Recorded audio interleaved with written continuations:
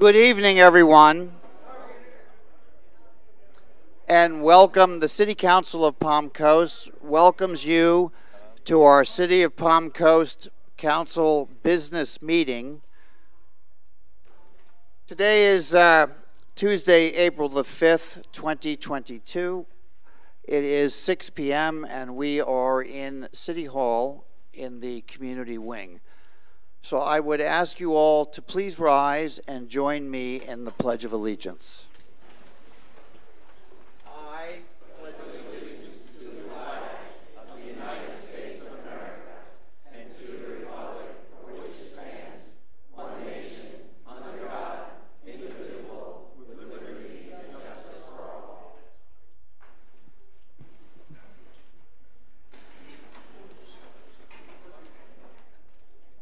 If the clerk would call the roll, please. Mayor Alfin, Present. Vice Mayor Branquinho. Right here. Councilmember Danko. Here. Councilmember Finelli.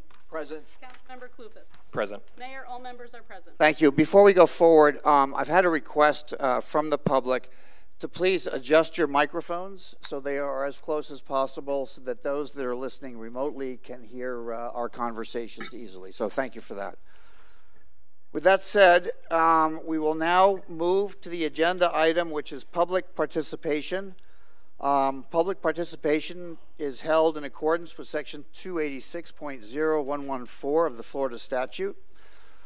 And I, since we have a, a full house uh, with many of you, that I am anxious to hear your comments tonight. We all are.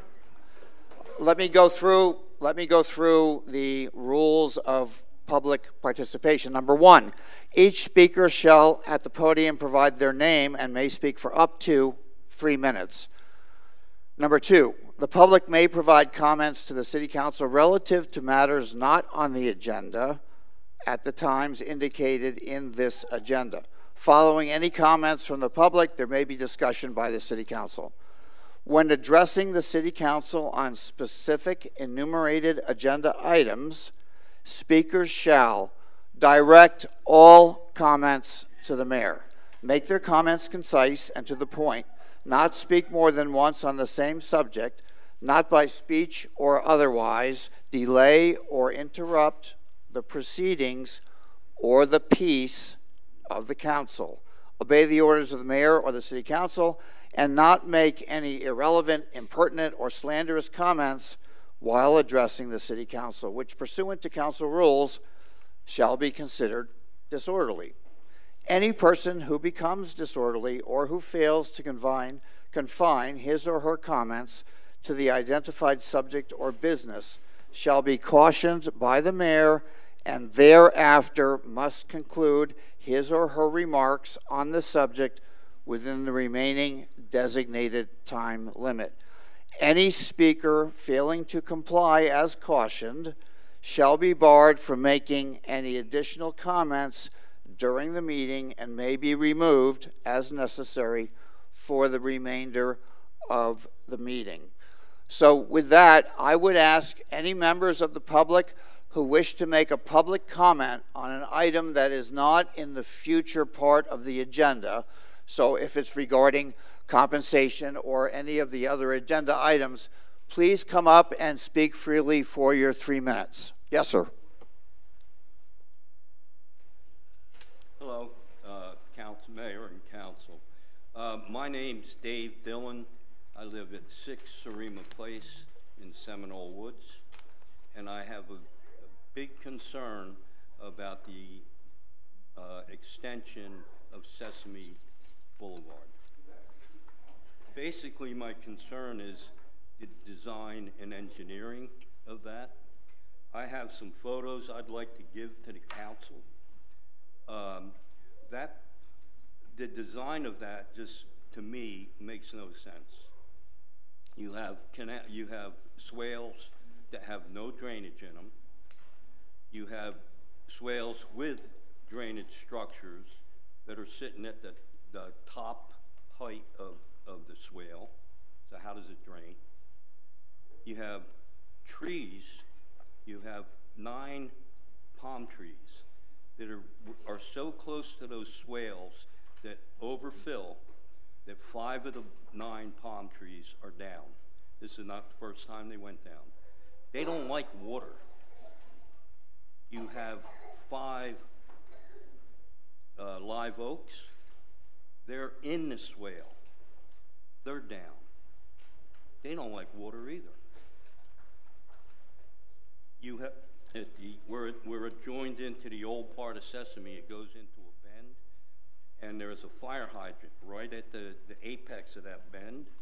Someone coming there could run right into that fire hydrant. If they hit it and go beyond it, they'll be in the canal.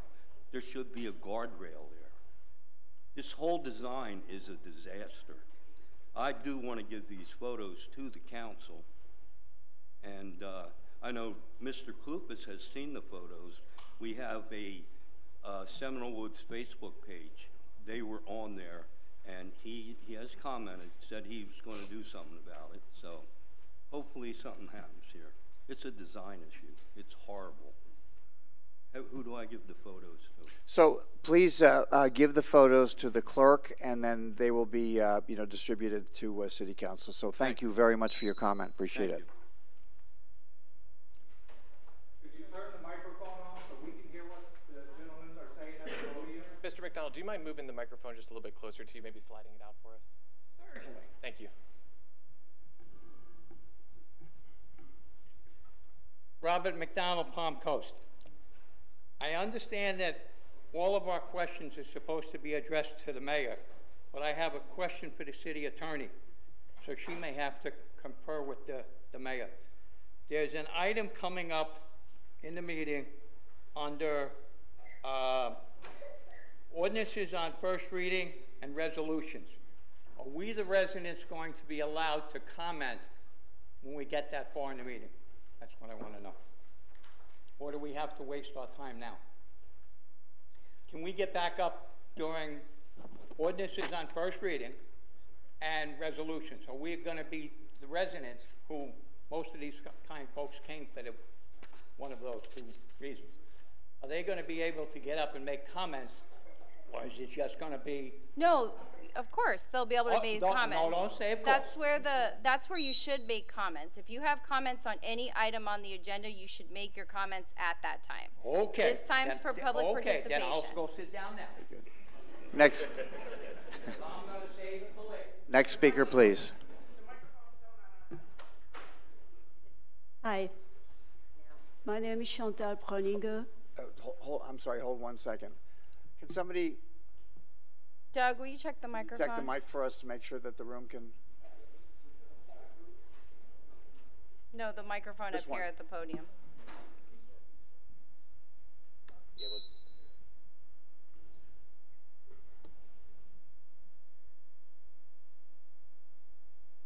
Do you mind, do you mind just speaking into the microphone just so we can see if it's been uh, adjusted? Give me a test. Can you mic test? Can you, can you hit the microphone? I think it works. Okay. I think that, I think it's been improved, yeah. Okay. So I, I I apologize. If you would give us uh, your name for the record, please. Okay. Uh, my name is Chantal Proninger. I'm new here. We moved on the 17th. And um uh, before we moved, uh, we were told that uh, um, people report on each other here in the city.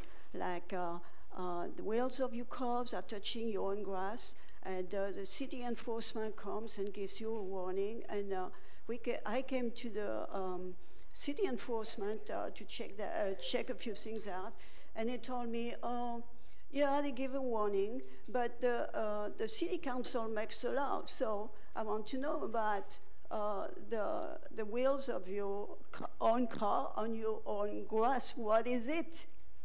So you can answer to me after that. Um, now, I read also um, that we are actually, I, I saw it on paper, we are actually uh, encouraged to tell about uh, what others are doing wrong. And uh, I mean, I find that a little strange, but I, uh, I came to the city hall because on the back of our property, we have a fence. And uh, the fence has been authorized by the city, but it excludes uh, uh, a part of uh, um, grown brushes and all that. And uh, so I came here and I said, oh, there's nothing we can do. It's a private property. They do what they want. So I want to know, is there any regulation for that? Because they don't see it. It's on their property. We see it. But they don't see it. We can't fix it because that's on their property. They can't come on our property to fix it. So how do we fix that? We can't even add a fence over there because it would touch their fence. And if we put some space between their fence and ours, it gives space for wild animals to go through. So I, I don't know what we should do. Uh, I want to know where the rules in the books are, how I- find them, because to me it's a little bit of a double standard, you know.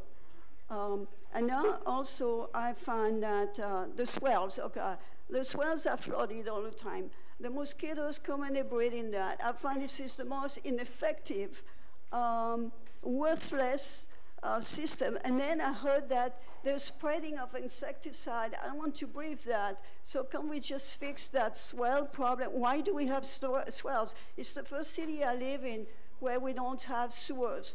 Yeah, I'd like an explanation for that. And also people complain they don't have enough stores. So there are a lot of building, more and more building, but the stores don't seem to follow. People want more grocery stores, uh, more to sustain them, and uh, there's frustration. So that's what I want to. Uh, Thank you for your comments, and uh, I'll make sure the city manager will make sure that she has your contact information to follow up with uh, your questions. okay, thank you. You're the city manager? Thank you. Uh, Next, next speaker, please. I was, I was going to give her my card from, so she can call the mosquito district about, Please. Pat Barilli, I'm here for my regular issue. I'm wondering, was it ever brought up at the FCAR meetings about those, this little booklet? Remember, you had said you're gonna go to the FCAR meeting and talk to the realtors that the booklets be given out and that they should be given out at the closing since the realtors do not give them out. Still to this day, everybody who moves here, I ask them if they know about the restrictions. The neighbor right next door showed them the booklet, never heard about the restrictions. So did anything get done at the FCAR meeting since the realtors refused to give these booklets out? Um, that's basically it. I just want to know where the, that's at. And while I'm at it, since I have time, you know the signs like Town Center at Palm Coast, Indian Trails at Palm Coast? I don't get the word at. I don't expect you to change the signs, but I figure for new developments, why doesn't it say like Indian Trails in Palm Coast? It's just weird. So I just thought maybe keep that in mind, but I really want to know about the booklet, the restrictions. Thank you for your comment, and the, the city manager will have a comment for follow-up with you um, regarding the issue. Next speaker, please.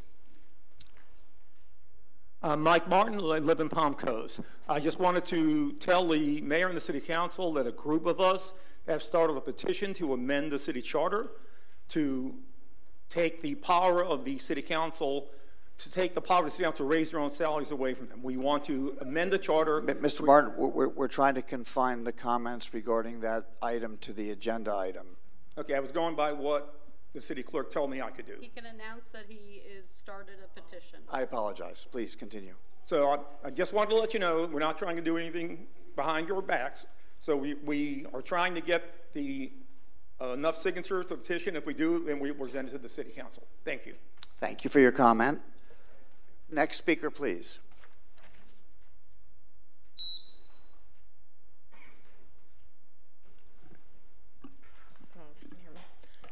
Ready? Uh, my name is Carrie Purdy. I'm the owner and coach of Flagler Fluid Swim Team, and we were established in 2019. And I'm here to speak about um, building and putting forth the efforts for the community in building a proper aquatic center and youth recreational center. Currently, one out of five counties in Florida, we are one out of five counties in Florida that does not have a 50 meter pool. And that's out of 67 counties in Florida. Currently, Florida is the sixth state in drownings, according to the CDC, from ages one to four. New Florida law that will be um, in effect for through 2002-2023 school year. Every child is a swimmer. Florida Public Schools will require to ask parents if their child has been had swim lessons. If the answer is no, they're going to be required to provide swim safety and educational material. The community here has outgrown both pools, driven by increased development. They no longer are able to utilize the, as a competition, which affects our team and the kids in this community. The opportunities in which to serve has major, the opportunity in which that can serve as a major profit and a revenue cost for the city.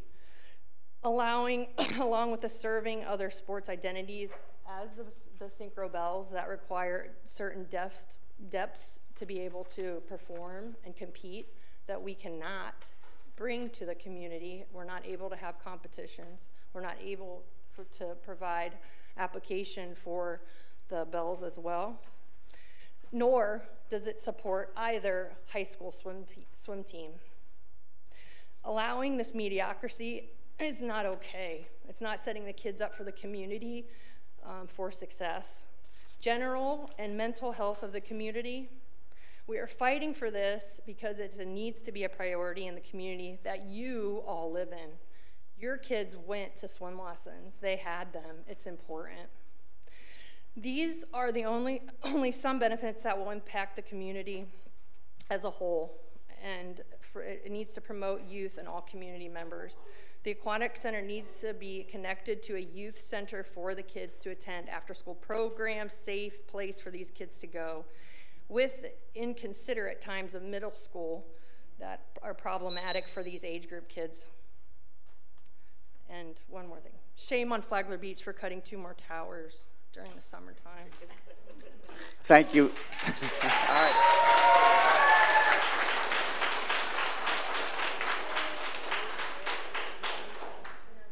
Easy. Next speaker, please.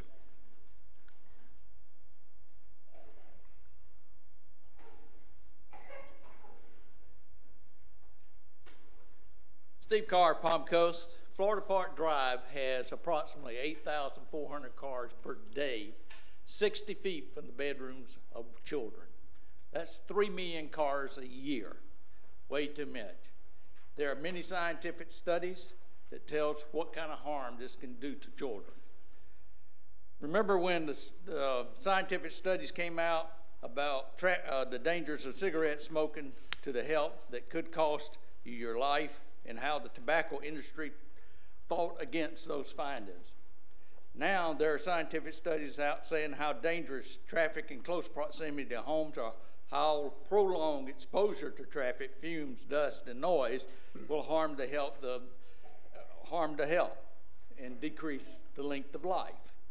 The city council now ignores the city stud, the scientific studies, finding just like the tobacco industry, there's no harm as far as they can see.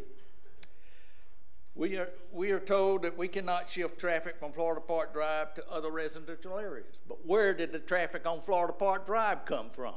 Other residential areas. Hmm, isn't that amazing? In my opinion, not all developers are bad, but when the city allows development to affect, to affect surrounding areas' quality of life, then the city is bad. The builders build where the city tells them they can. Developers report on road level of service. How much traffic can a road handle? And absolutely no reports on the quality of life, how uh, toxic traffic fumes, toxic tra traffic dust, and noise will affect the surrounding areas. About it's not about traffic, it's about people.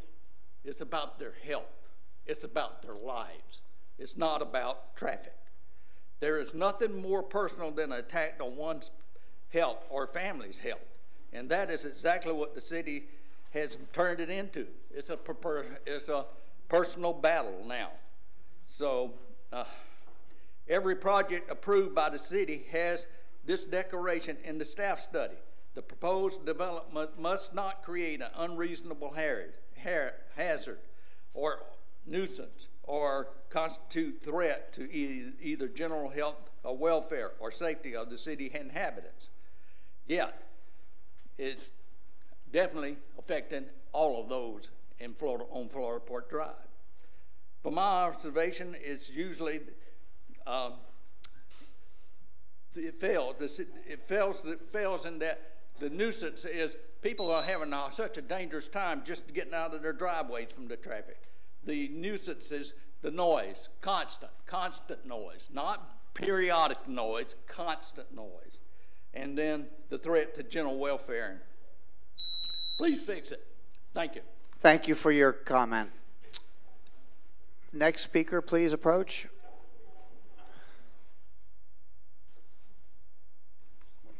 James Vincent, Palm Coast. Uh, This is probably going to be a little recap from the last meeting, but it needs to be repeated because it needs to be on, on record. It's been brought up by members there that Com- Palm Coast was designed for an increase in population, the people are coming. But I don't think the original intention was to have people literally stacked on top of each other in these high-rise apartments and townhouses.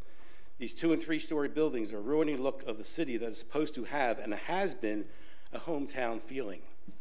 Plus, you're building some of them in the midst of single-family home developments. If you keep building them like this, we'll have the same view you get when you drive through Jacksonville on 995, just tall buildings all over the place. And I mean, they're building Florida, uh, Florida uh, Advent Hospital in the middle of the parkway, this big three-story structure. It's like, couldn't they put it down the end of the parkway? Of course, they're building Flagler Hospital there, but they could have had a shot to build that and keep that view better down the end of the road. But why is there so much a push for this building? And the comments I hear, and I'm softening this up because I hear harsher words, but what I hear daily is that maybe it's because we have an active real estate broker running the city who, owes favors to campaign contributors. Many of the single homes being built are not even concrete block.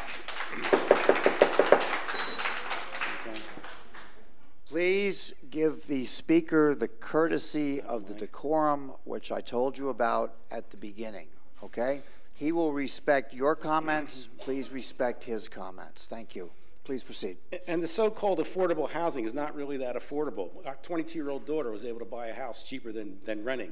So most, most of us want to see a, a moratorium on these multifamily houses. But the people moving to the city are trying to get away from tyranny and restrictions of major cities, yet they're not all coming here to retire. They're going to be looking for jobs. This is why we need more businesses, which will bring in tax revenue and create jobs. And the more businesses and offices and restaurants we need on the west end of town to keep a lot of traffic away from the Walmart area. The underlying issue brought up many times is the same. Our roads cannot handle the volume of increased population. Our Old Kings Road North should have been widened 10 years ago. It's still not there. It's traffic backups. How long before this gets done? We have existing roads that need to be have turnoff lanes. Uh, we need expanded, modified roads and other modifications to accumulate increasing population. It's starting to look like Fort Lauderdale now when you drive through town. And on top of that, we have people that don't know how to drive. Not you, you're all good. It's the other people out on the road that don't know how to drive, right? And that, that adds to the problem. So I'd love to have you and a, and a, a, a street department person drive around and, sh- and show you the pitfalls and some of the obstructions we have to deal with every day. It's just ridiculous out there. So we do insist on a moratorium for multifamily housing. I know the realtors are squawking about it, but they, maybe they can turn their attention towards commercial market or whatever. Thank you for your comments. The next speaker, please. Uh, please, please. Okay. Good evening. I know many of us here are praying for you, and um, I appreciate the service of our leaders. Name, name. My name is Donna Walsh, and um, this is some of my concern. I had actually voted for a different mayor because I had heard about the real estate, that there was a very strong interest in real estate, and that concerned me because I really love the trees here in Palm Coast, and I've seen such strong building, uh, a lot of heavy building going on even in our neighborhood. Um, so I am all for an increase of um, payment raise going from 10,000 to 44,000. I am all for that. I'm in agreement of a raise, but the, my question is, um, where um, it sounds like a sad story where everybody's pulling it from their pockets to to uh, run a campaign. But So, uh, I'm sorry to interrupt you. We're, we're confining um, comments regarding compensation to the agenda item when we get there. Is, is there uh, another issue that you wish to address us? or oh, I guess like- I wanted to know how much real estate is also going into the mayor's pocket because it seems like uh, there was a very strong interest in real estate, and that's why. Please, please. No, no, I'm just being honest. no. I didn't, I didn't. Please offer the speaker the same respect you would like when you're making your comment. Go ahead. Okay, oh, and, and um, I, all I have to say is I'm very interested in wonderful, clean pools for the children. I actually have our own pool, but I remember my dad taking me to the pool place when I was young. We didn't have a pool, it was just wonderful. And I believe in clean water for the children uh, and great, great space to spread out their arms. Uh, so I'm in agreement for that. Thank you. Thank you for your comment. Next speaker, please.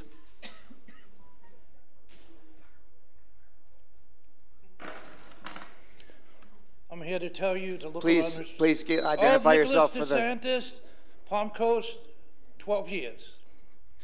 I want you to look around this room, and I want you to see all of these people in this room. And I want you to think about this. They're the ones that vote for you. When are you going to start working for them? When? It's getting tiring, me having to come here to tell you to do your job for the people. Not for the not, not for the bankers and the lawyers and all this other nonsense that you do. Not all of you up here are bad. I have to admit that I voted for some of you. One of, most, mo- one of my most shameful things on earth was voting for some of you, some of you up here. So look around this room. Remember this day. Because if you guys don't start doing your job, you're going to see this every day. Every time you have a meeting, you're going to have people in here as angry as I am. Think about that. Thank you for your comment. Uh, next speaker, please.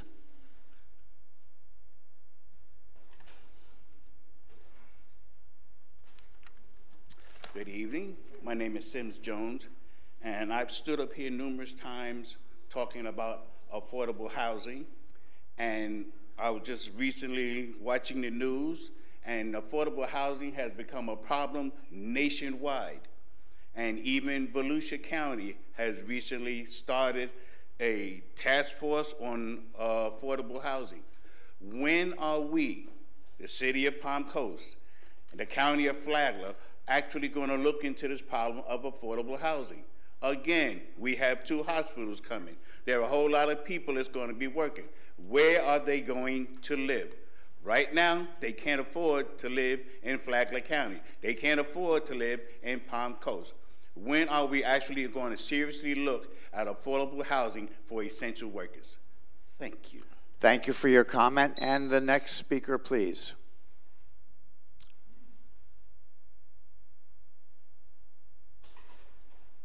Good evening, Jamie Gilbert. Uh, it ties a little bit with the pool. Um, I'm a filmmaker and I have two of my producers back there. We have a show on uh, Roku um, and we submitted a show about synchronized swimming. My daughter is with the bells and, and with the fluid as well. Unfortunately, we cannot do it here. The pool depth is way too shallow. We have to drive all the way to Oviedo on Saturday mornings, which is an hour and a half away. So which brought a little bit the, the me, my presence here with, with the fluid. Um, I'm an associate actuary as well, so I've, I've done a full-on costs and benefits analysis for a, a pool. I would love to partner with the city and talk to you about it later, but this is why I'm here, so thank you. Very good. Thank you for your comment. And the next speaker, please.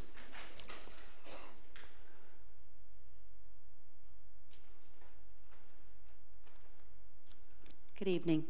My name is Monique. Um, I've lived here since uh, 2003, and I've been up here before discussing some of these things, but I'm going to put it on record again. um, just a few different things. Um, swales, same thing, a lot of problems you see all over the place. Water, just from the storm we had, just from that. Um, and this has been an, a long time issue, so it's still something that's been ongoing. Water across roads. When I went down Cypress Point from that rain, the rain, the water was covered along the one side of the road across all the lanes on the right side, let's say. Hargrove flooded over there too. Back roads, certain sections, streets are flooded. Friends sent putting pictures on Facebook, and you're like, oh my gosh, it looks like a lake out in front of their house. Um, traffic, infrastructure. That's another thing. We have all this. Uh, traffic again because of all the people moving here, and our roads are not accommodating for everything that's going on. I'm gonna come back to this. Um, turning lanes. I'm noticing, and I'm- maybe you guys are aware of this already, but Whiteview, you get there, you're stuck, you can't make a right to go south. So you have to wait for the car in front of you to go. It'd be nice if there's a turning lane there. Cypress Point, same thing. It's backed all the way up, all the way back.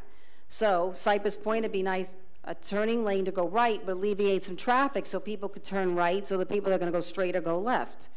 Royal Palm, backed up, can't make a right because you have to wait, because you can only wait for the people when the light goes, same thing. Um, so there was just some, some areas that I, that I noticed. Um, and again, growth. I don't mind growth. I'm sure a lot of people don't mind growth. But the thing is, we can't accommodate all this growth. All, it, we keep building, building, building residential, and not, and not an increase in businesses. Or if we do put a business, it's on Palm Coast Parkway 100, and we've got all everything backed up. Like I said, I work out in Palatka on Monday, Wednesday, Friday, so Tuesday, Thursday, I drive the area, and I'm like, oh my gosh, the traffic is, is terrible. Again, Old Kings, you get over there, you're, it's not been widened. We've been talking about this for eight years, and it's still not, I know they worked on some of it, but again, you go north, and you're stuck if cars are turning. Even if there was a center lane, that way they get in the middle and cars could still continue to go. So just these things that it's been like a long time issue and it seems like nothing has gotten done um, with it. But again, I think we really need to try to think about how much we're building here as far as residential. Thank you. Thank you for your comment. Next speaker, please.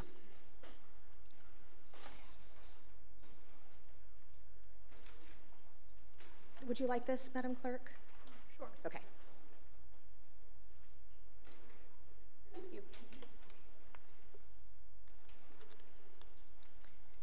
My name is Heidi Gerkin, G-E-R-K-I-N. Um, I'd like to talk a little bit uh, more about a potential aquatic center and youth center in Palm Coast. Um, I want to say that if you build it, they will come.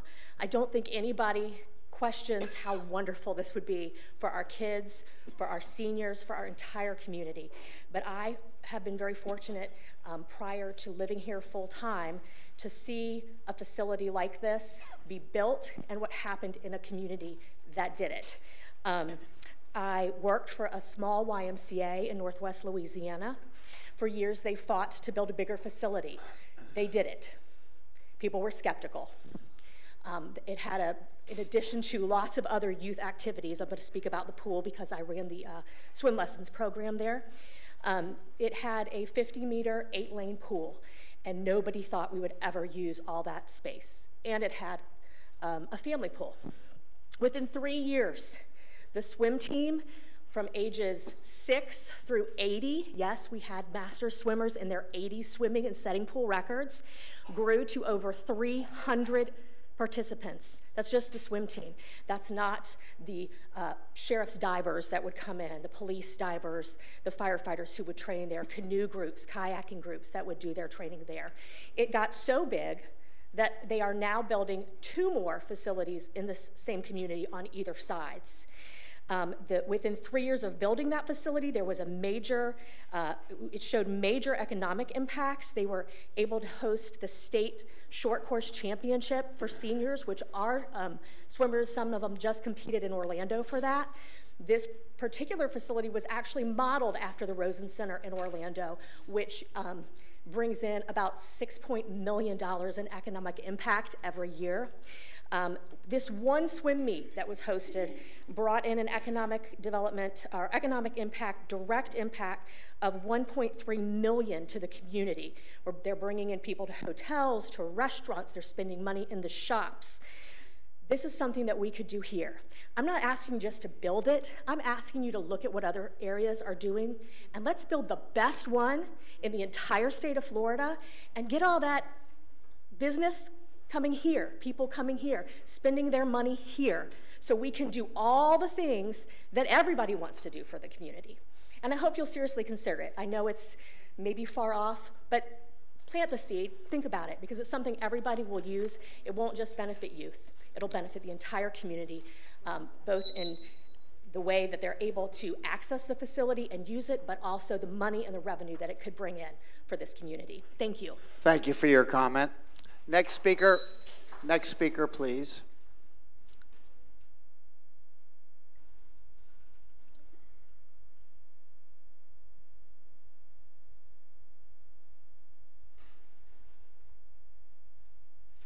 Good evening.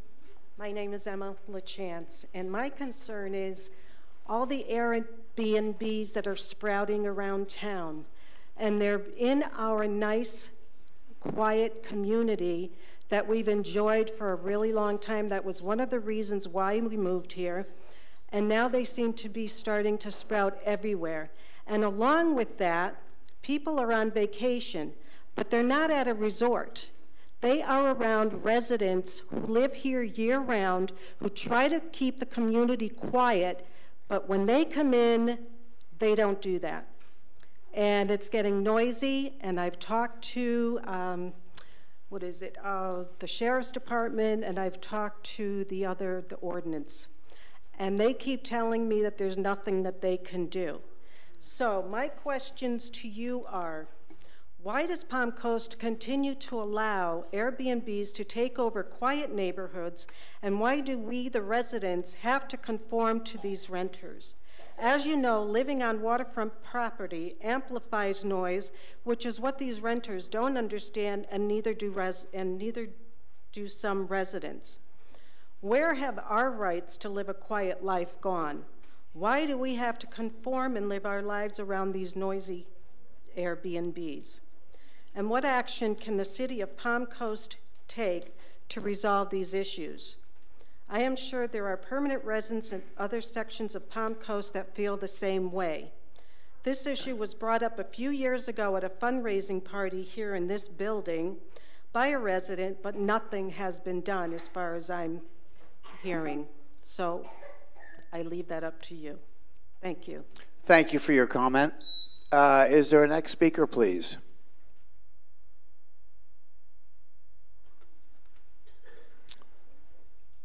Anyone else wish to speak? Either one.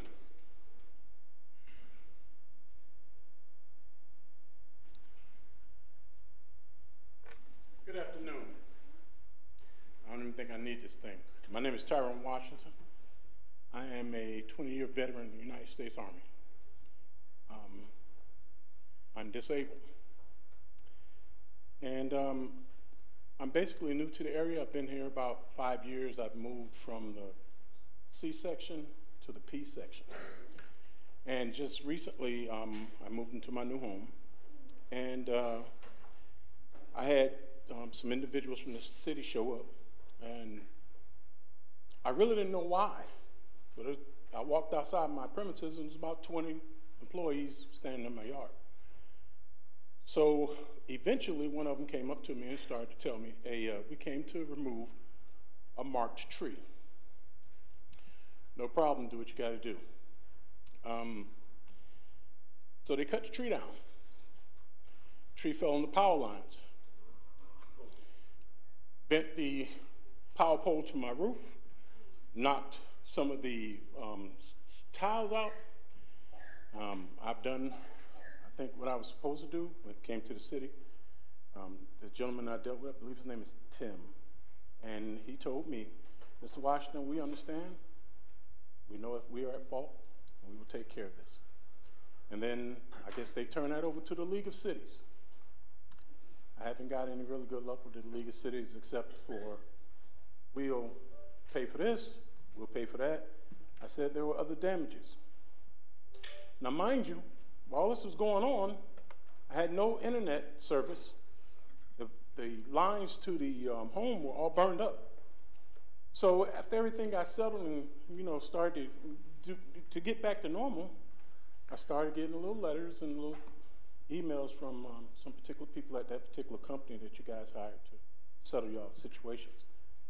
And uh, it's just been, I mean, I'm, I'm at my wit's end. I don't want to make a big deal out of it and go to like a lawyer or nothing like that. I just wanted to be compensated and, you know, after I was told, hey, Mr. Washington, you'll be taken care of because it's our fault. I don't feel like that now. I've come up here several times. I've talked to people several times. Today, I actually went upstairs. Um, I was trying to find out who I would, among this panel, have to talk to. And I found out who it is, and, and I'm pretty sure we're going to get together after this. But it's just that if I come, let me ask one of these law enforcement officers. If you come Sir, outside of your house sir, first sir, thing in the sir, morning, Mr. Washington, can I, do that? you really Okay, direct uh, your comments to me. They'll hear, but Okay, please okay, direct your right. comments well, to me. the Thank reason you. why I'm, I'm asking law enforcement because if someone shows up to their home unannounced for whatever reason, and they don't actually come up and, hey, you know, we're getting ready to do this. This is what's going on. I didn't get that courtesy, and now I'm stuck with electronics that don't work. And I just want to minimize this and just get it taken care of. Thank you for your comment. Thank and you. city manager has your contact information, I believe. Thank you very much. Thank you. Uh, thank you for your service as well. Uh, next comment, next public comment, please. Is there another speaker? Yes, sir.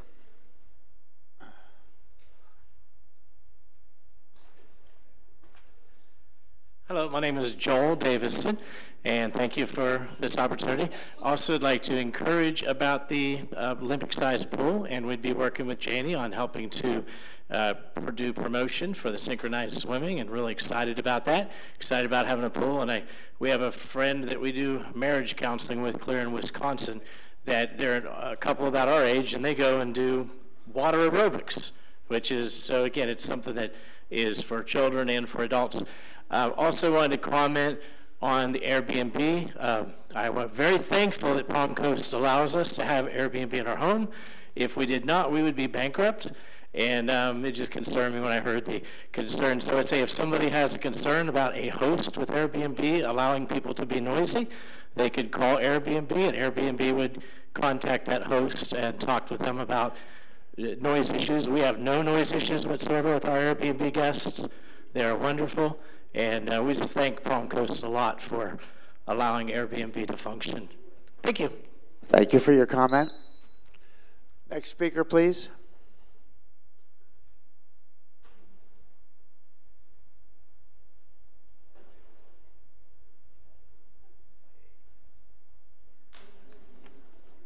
Alan Lowe.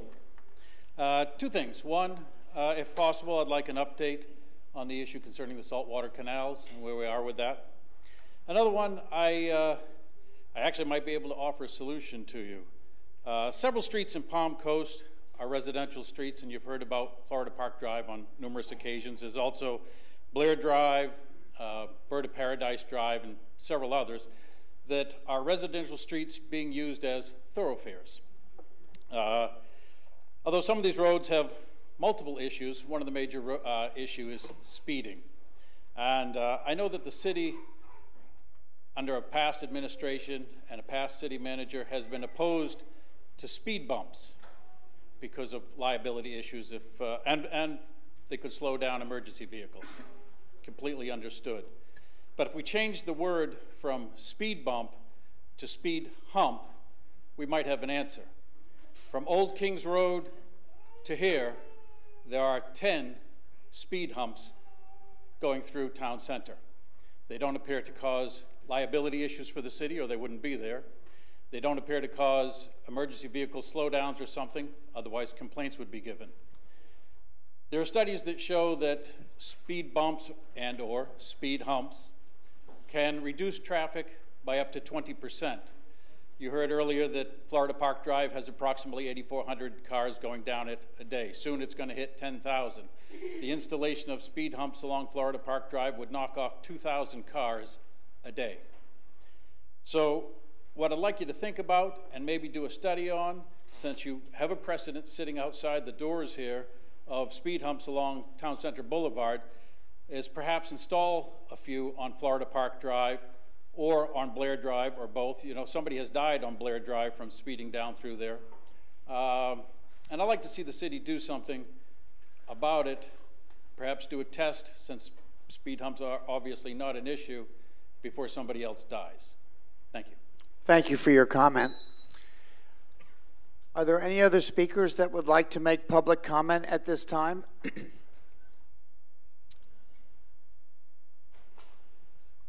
Hello, uh, my name is Claudette O'Dowd. Um, I wanted to um, just express, as well as lots of these awesome team members with the Fluid Swim team, how important the pool is. Um, it's not just important for all the reasons that they mentioned, but also having two special needs children.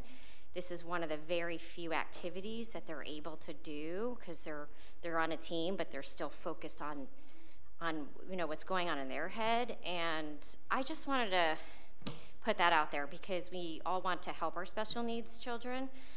So I um, I just hope that we do get this aquatic center so that we could also keep our money in our community and bring money from other towns you know, to, to attend this pool and these competitions and to help, you know, help children learn how to swim. So I wanted to express that. Um, I appreciate your time. Thank you.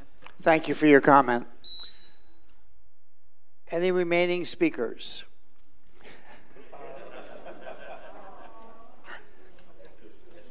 Hold on one second.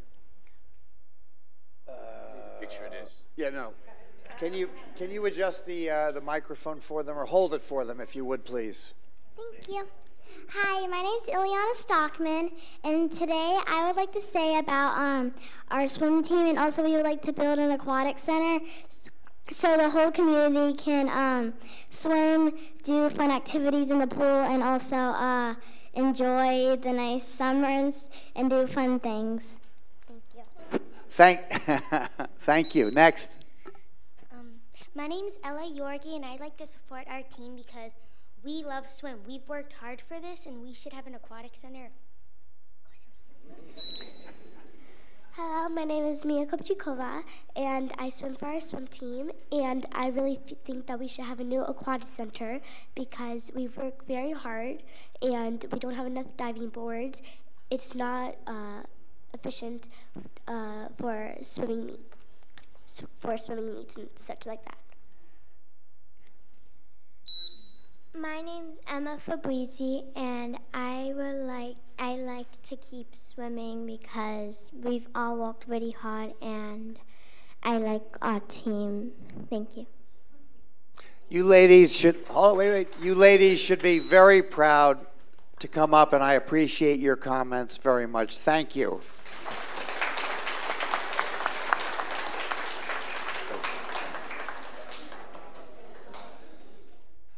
Uh, is there another speaker tonight for public comment not on the uh, following agenda?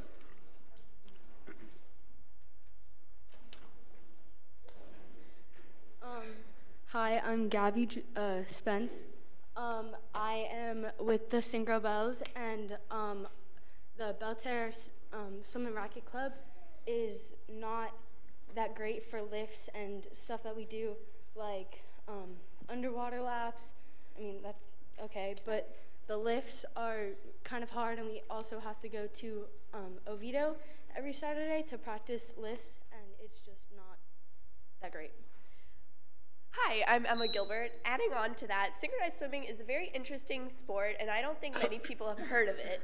Um, and it's kind of like dance in the water, cheerleading underwater, and it's really pretty. I suggest you search it up. And we really need a deeper pool to swim in for our team. That's it. Thank you. Thank you both for your comment.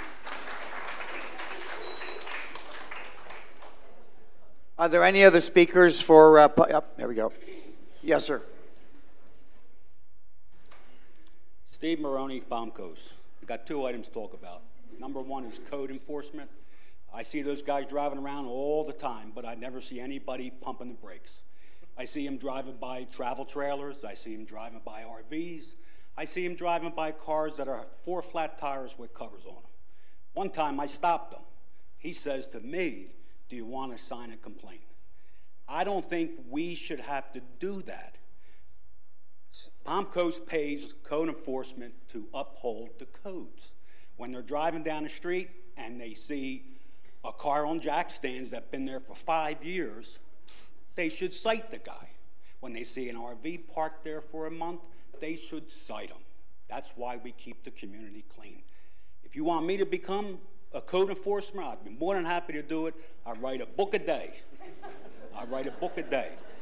Second point is they have a good point about growth, about real estate.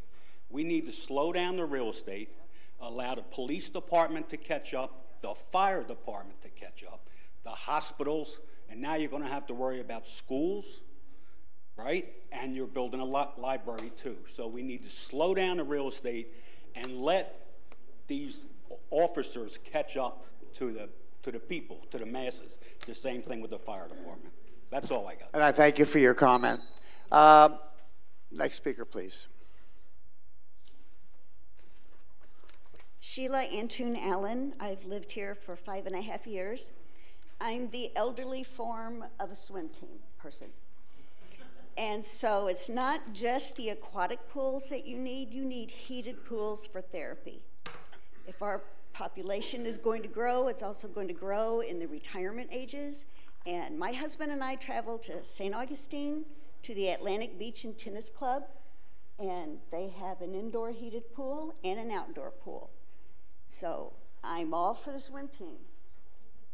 But our elderly also need that.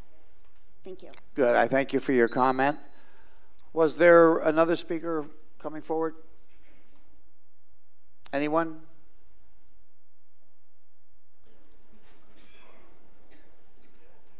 Is this the end? This poor guy. Come on. Come up for a second. I've seen you stand up 12 times. Come All right, come on. That's all right. Honestly, come, come on up. Come on. All right, all right. Come, come stand next to me. We can do this together. hey, guy. Wait, what's up? All right, please. Please, respect for the speaker, please. Thank you. Uh, yes, my sir. name is Matt Matt Spence. I have a daughter on the swim team. I don't normally wear pink, but for these guys, I do. A um, couple things, real quick, just to maybe give some context to the the places where we go. We've been to um, Stuart, Coral Springs. These have like world class uh, setups down there where they have diving wells. Uh, you know. 10 and 20 meter boards for people to go. We were at a competition last uh, last year. Ryan Lochte was there doing a program for people that were flying in from all over the world. There were teams competing that were international, teams from Mexico. So these are these aren't just a couple of girls doing things. These are we just came back from a uh, we were down actually at the Coral Springs uh, pool again. There were teams from Virginia. There were four teams from Texas. So these things draw not just for a handful of you know communities in Florida. These are these are international things, and the pools are really amazing. I mean, think about how many people come to Florida, nice resort-like sort of stuff. You can obviously have pools that that meet the needs of swim teams, but especially the one in Stuart, their complex is split where part of it is for the swim teams and just stuff that's appropriate. They've got bleacher seating and that sort of stuff. But on the other side, it's literally like a water park. It's amazing. And these are things that you just, you know, that's not, there's nothing like that around here. If you want a water park sort of thing, you either have to go to Daytona or you have to go to Orlando for that. So it's just, there can be really creative ways to have amazing things. People love to be here year round. You can have those indoor pools that are heated, you can have outdoor pools. It's the sort of thing where I, I really believe that build it and they will come kind of concept, that would be huge for us. So appreciate your consideration. And one other thing just about the raises that you guys are thinking about. Well, we're going to oh, restrict Oh, that to the. all right, okay, all right. Your turn. All right. Next speaker, please.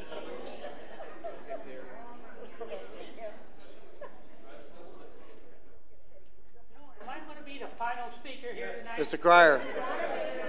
Are there going to be more? Okay, because normally. Please, please, First please, all, please Mr. come- Mayor, I'm Hal Cryer. Okay. I'm from the Committee on Safety on Cimarron.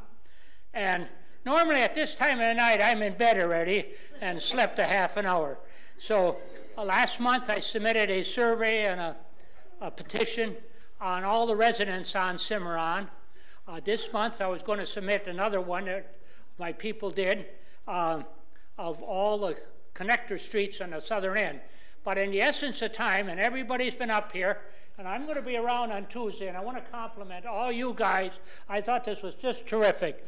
And uh, uh, in the essence of time, I'll come back on Tuesday, and I want to say one other thing here. I want to thank everybody. I've been involved in this program. It's going on a little bit of time. I don't even want to mention how much, but it's been so cooperative from the council, the city, uh, my volunteers, and I want to thank everybody. Uh, we, we have come a long ways. Now, we still got a ways to go yet. And this is a big safety issue, and we're going to do it right. We did it civilly right uh, so far. Uh, until I got up here tonight. So, but anyway, thank everybody. And I always end this way that this is a good place to live, and I like living here. Thank you very much. Thank, thank you for your comment. Okay. Are, are there any other speakers at this time, or I will close? Yes, sir.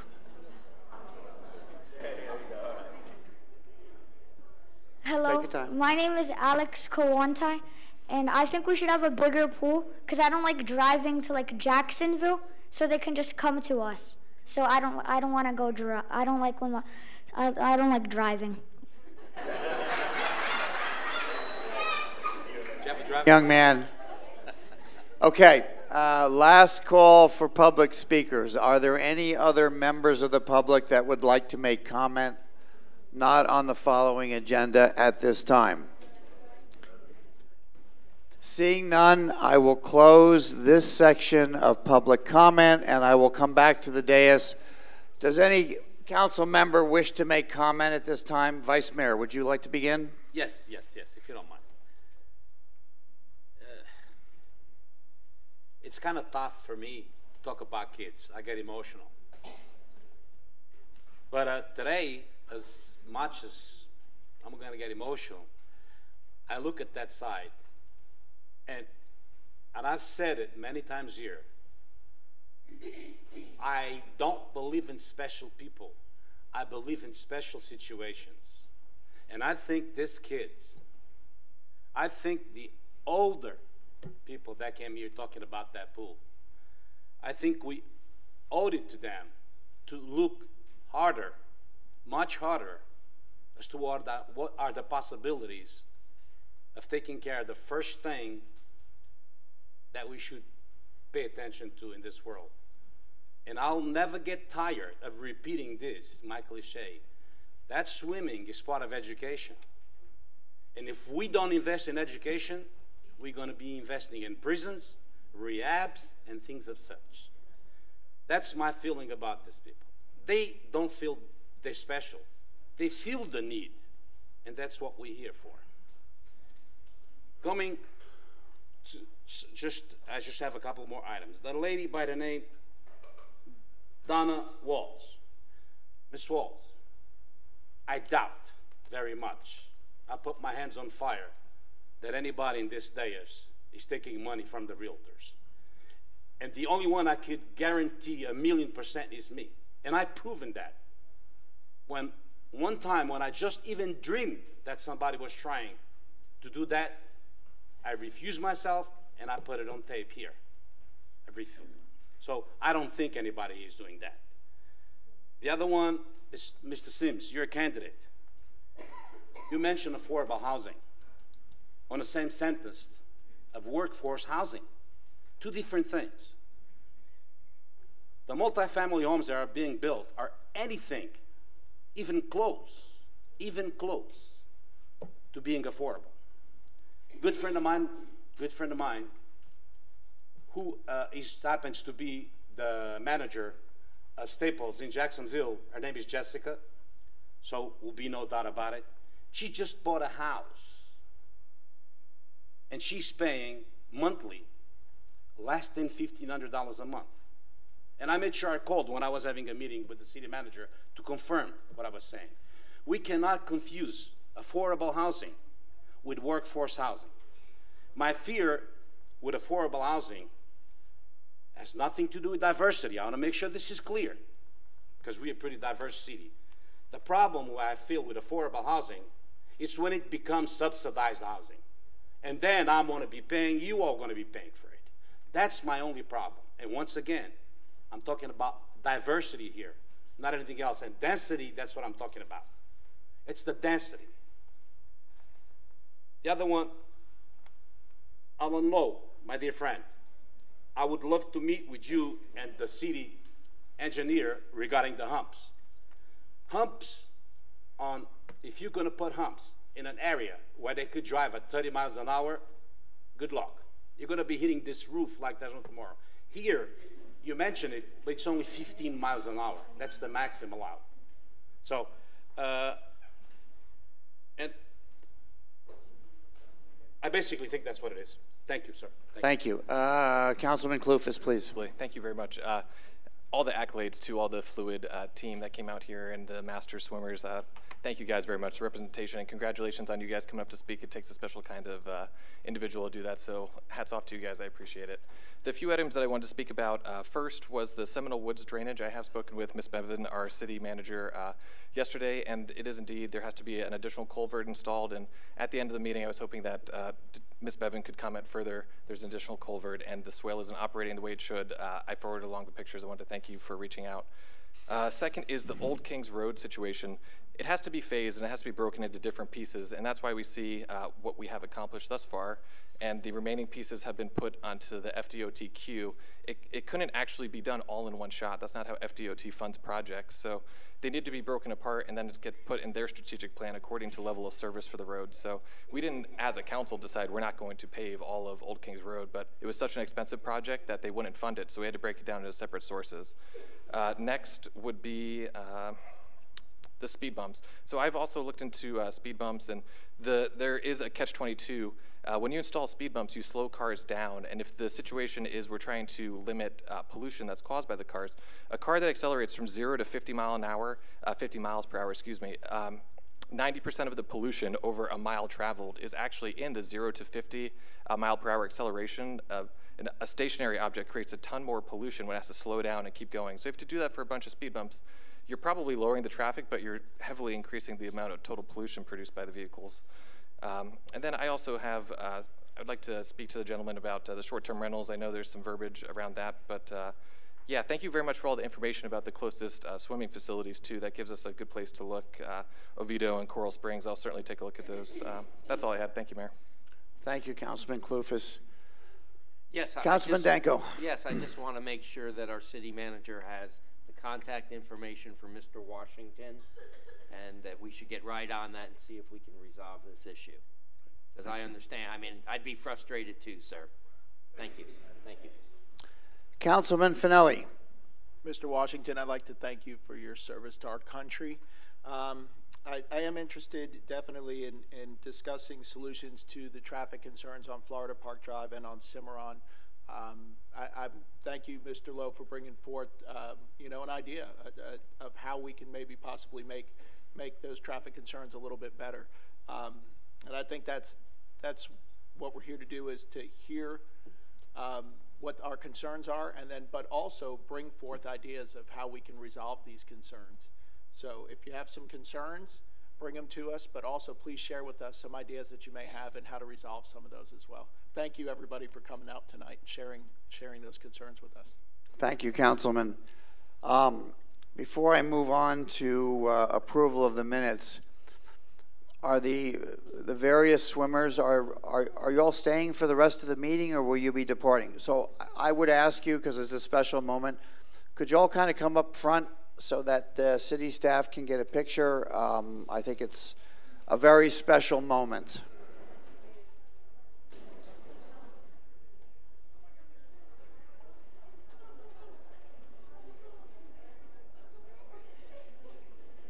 Ms. Kershaw, could you get a, okay. So, you're going to be facing that way. Yeah, yeah. Unless you're going to do the backstroke. Yeah, exactly, yeah.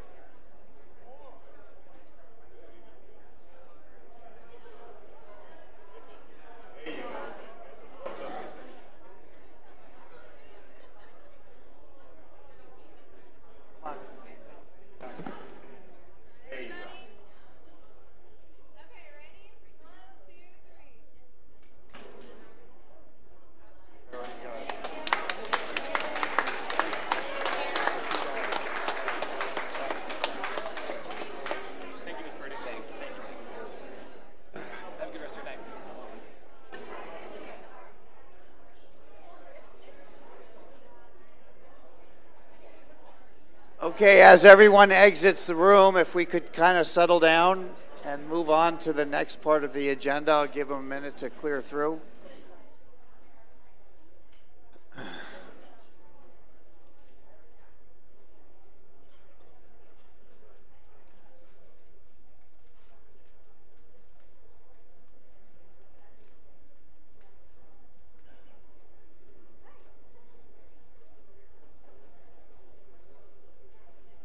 I appreciate it. Thank you very much, Joel. I appreciate it. Thank you, seriously. I appreciate it.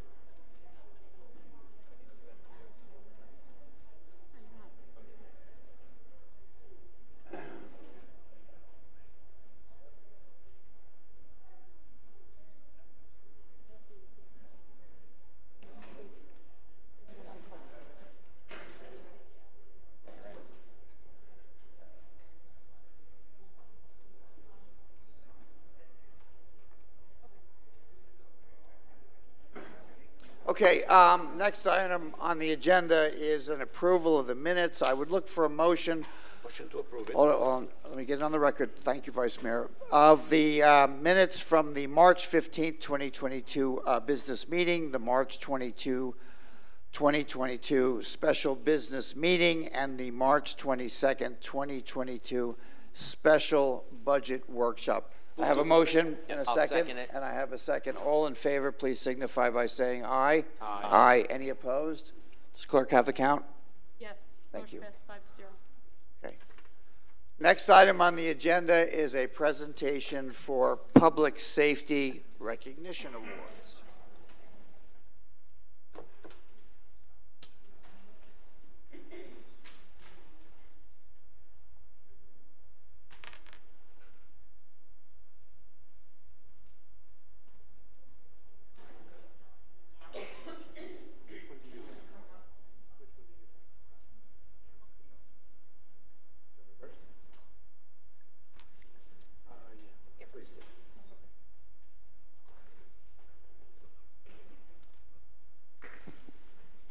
Never get to pull the microphone up. And it was because the, the kids were up here, I get to finally pull the microphone up. Uh, Mayor, Council, thank you for your opportunity uh, to speak to you tonight. Uh, I want to recognize some of the students from the FTC program, from the EMT program, if they can stand and be recognized. Come on up.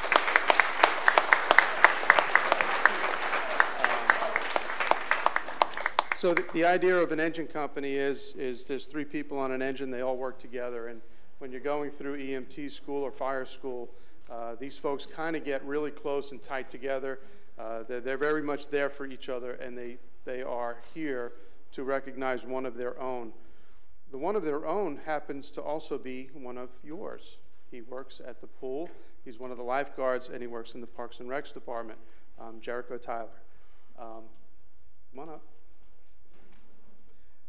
On Wednesday, March 2nd, a severe motor, motor vehicle crash occurred on Belle Terre Parkway, and as the engine 25 and engine 252 arrived on scene, uh, they immediately recognized a bystander who happened to be in the road and performing chest compressions on a patient. Um, his action um, led to the ROSC uh, return of spontaneous circulation in the body. So basically, his CPR brought back this person um, to a certain level of sustainability. Um, he was going to EMT, he was going home from EMT school at the time, where he was getting trained to be a firefighter and EMT, and he took it upon himself to stop and assist. And I need to tell you how unusual this is for not just um, anybody, but a first class student of an EMT program to stop what they're doing to actually put into practice what they've been taught. Um, what goes through their mind as they're approaching a scene is what nervousness, I'm sure an increased heart rate, um, anxiety, stress, um, to stop what he was doing, to get out of the car and actually put into practice what he was taught. Um, and we want to recognize um, Jericho today about doing just that, and, and this is what we're going to see from him.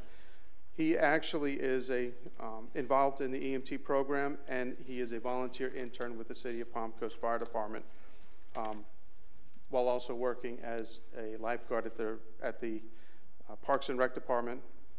And we want to just say that character is a large part of our organization. And tonight we celebrate um, Jericho and what he's brought to not only the city as a lifeguard, the EMT program, but what he brings to the intern program here. Um, and, and people like him is what makes this department great and makes this organization great and what is this whole community is all about. So we'd like to thank you for what you've done.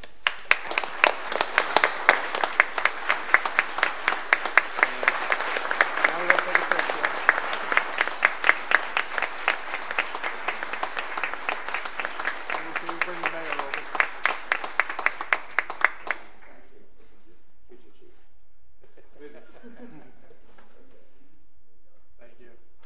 Thank you, guys.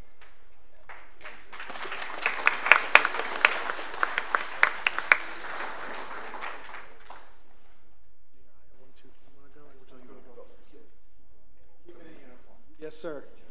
Good evening, Mayor and Council. Kyle Barrio with the Fire Department. We're also here to recognize some of our firefighters this evening. I get to put it up too, Chief. Um, we're also here to recognize some of our firefighters this evening who responded to the Chipola Complex wildfires in Bay County um, uh, about a month ago. Um, this is the same area that was devastated by Hurricane Michael in October of 2018. We also responded at that time um, to assist as that community was recovering from the hurricane and the losses associated there.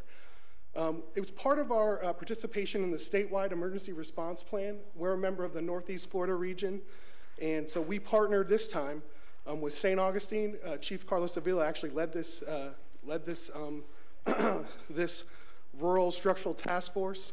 Clay County Fire Rescue, Marion County Fire Rescue, and our partners of Flagler County uh, Tender 62. Um, crews were deployed to this fire that was largely caused by the fallen timber from the hurricane. Um, at the time of deployment, there was 13,000 acres of active flames, and um, our, clu- our crews um, got the phone call and were on the road within three hours of being notified. And they have families and they have people that they left behind, just like, in fact, some of their kids were running around the station as we were making sure to get everything squared away. Um, the request for resources came from the Florida Emergency Operations Center in Tallahassee, and without knowing where they were going or what they were going to be asked to do, they were the first ones to raise their hand. And so we want to say thank you for your selfless service. So, um, Lieutenant Matt Stevens and driver engineer Joseph Fajardo can't be here this evening, but I do have. Um, come on, guys. Firefighter paramedic William Carrick.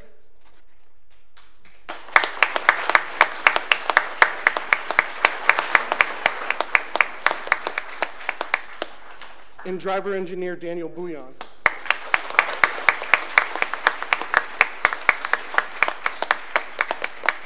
Who don't look worse from wear after fighting a commercial structure fire earlier today uh, in uh, Station 21 zone. So thank you guys very much, and thank you for your continued support.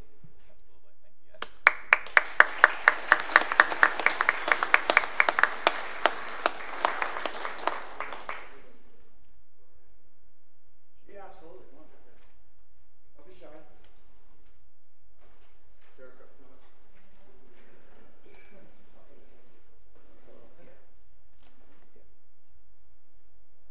We'll just stand behind. I'll stand up. We'll stand It'd be my honor to stand behind you guys. Sure. Okay. My privilege. Absolutely.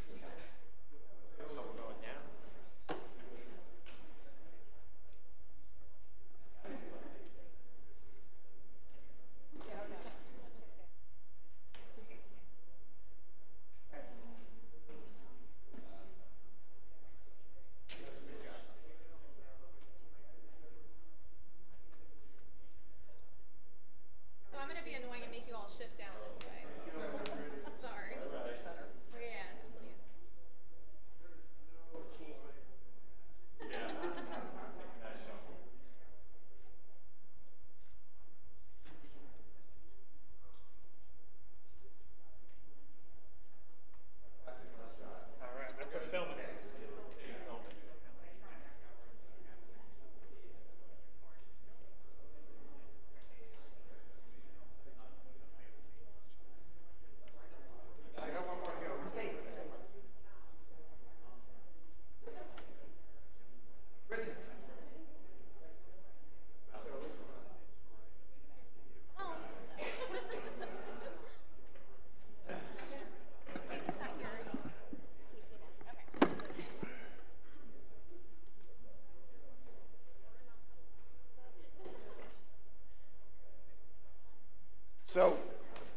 We saved this one, my favorite.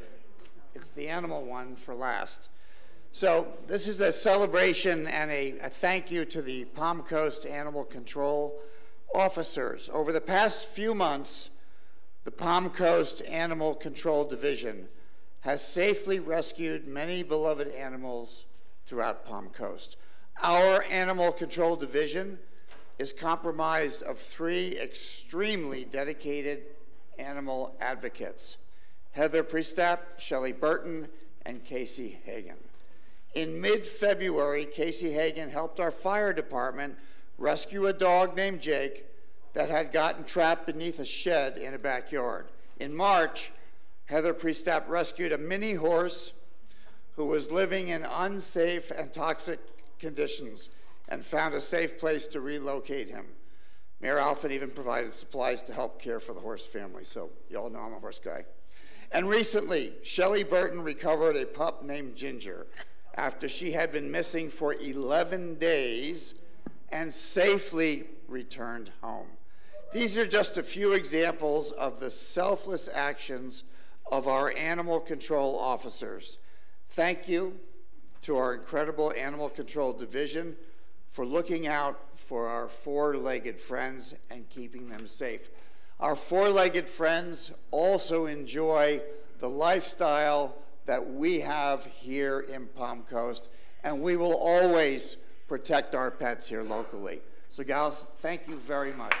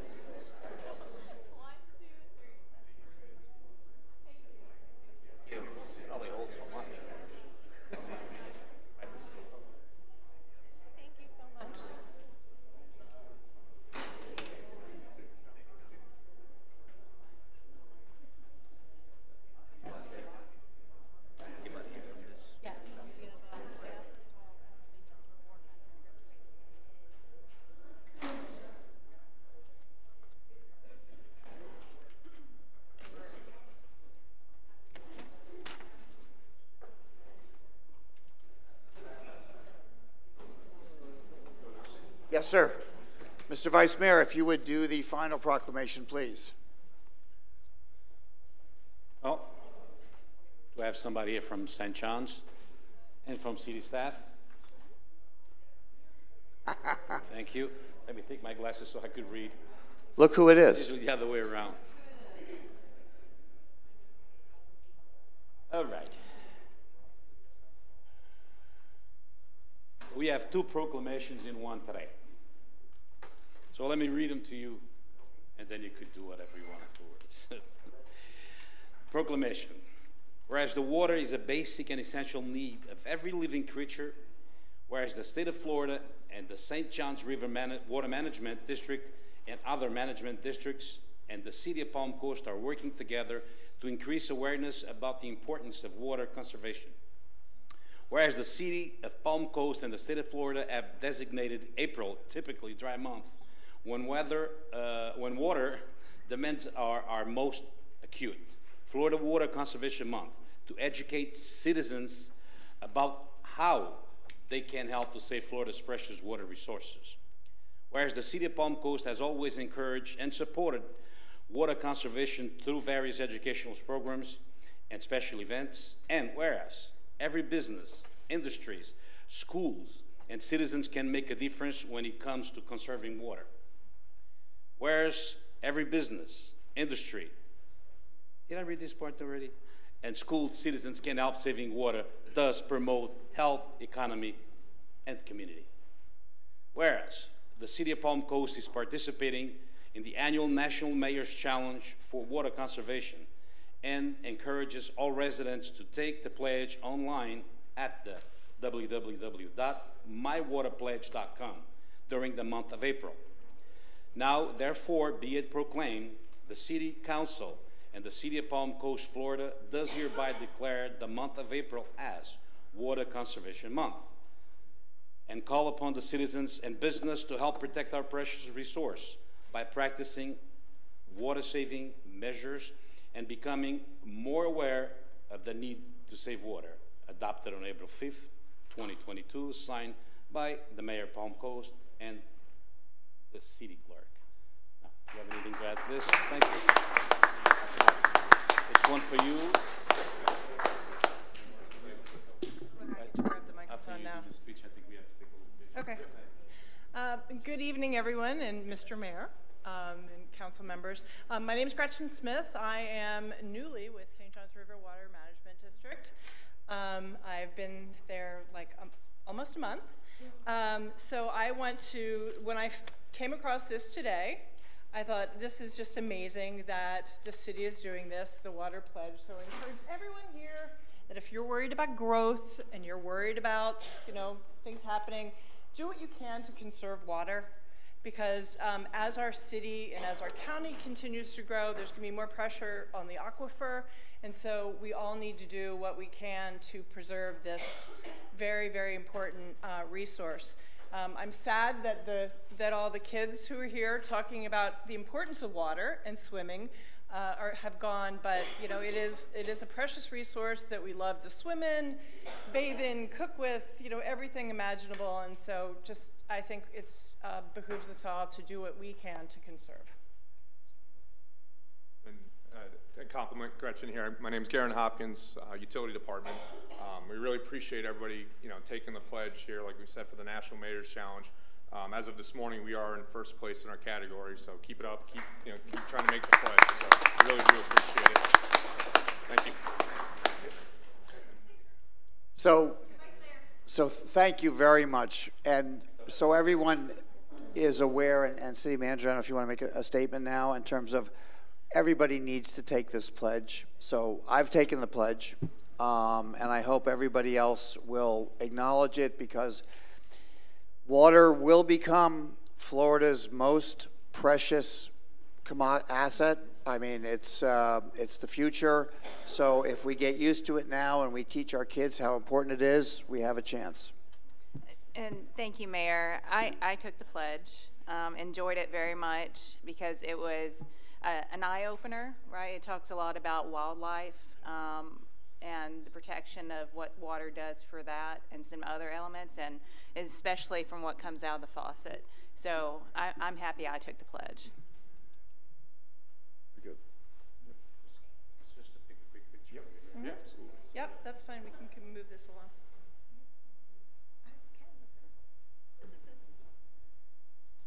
Stand up. Yeah, we got it. Get it behind you. One more time. Yeah, all right.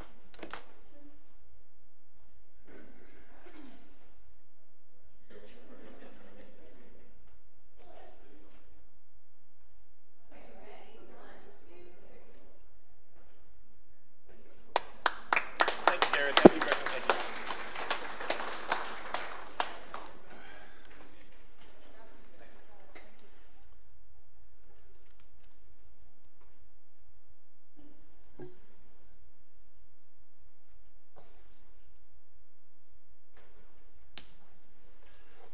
Thank you, Vice Mayor. Thank you, sir.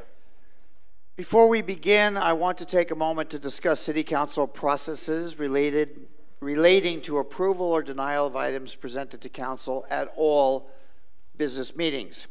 For each workshop, City Council receives a comprehensive overview of each item. At that time, it is Council's opportunity to provide opinions and ask questions on each item. Just as a reminder, items that are quasi judicial in nature will require council to base their decisions on only what is presented at the scheduled public hearings conducted at the scheduled business meetings. The purpose of a business meeting is for council to review and weigh all the evidence and take action with decisions based on all information presented, both at the prior workshop and today. So with that said, we will move on to the first ordinance, and I will ask council to please read the ordinance into the record. Yes, this is an ordinance of the City Council of the City of Palm Coast, Florida pursuant to Article 4, Section 6 of the City of Palm Coast Charter, adopting an increase to the mayor and city council members' compensation, providing for legislative findings, providing for conflicts, providing for severability, providing for codification, and providing for an effective date. So, as the mayor, I will take responsibility for assigning the writing of the ordinance to our city council, and I will present the ordinance um, as follows.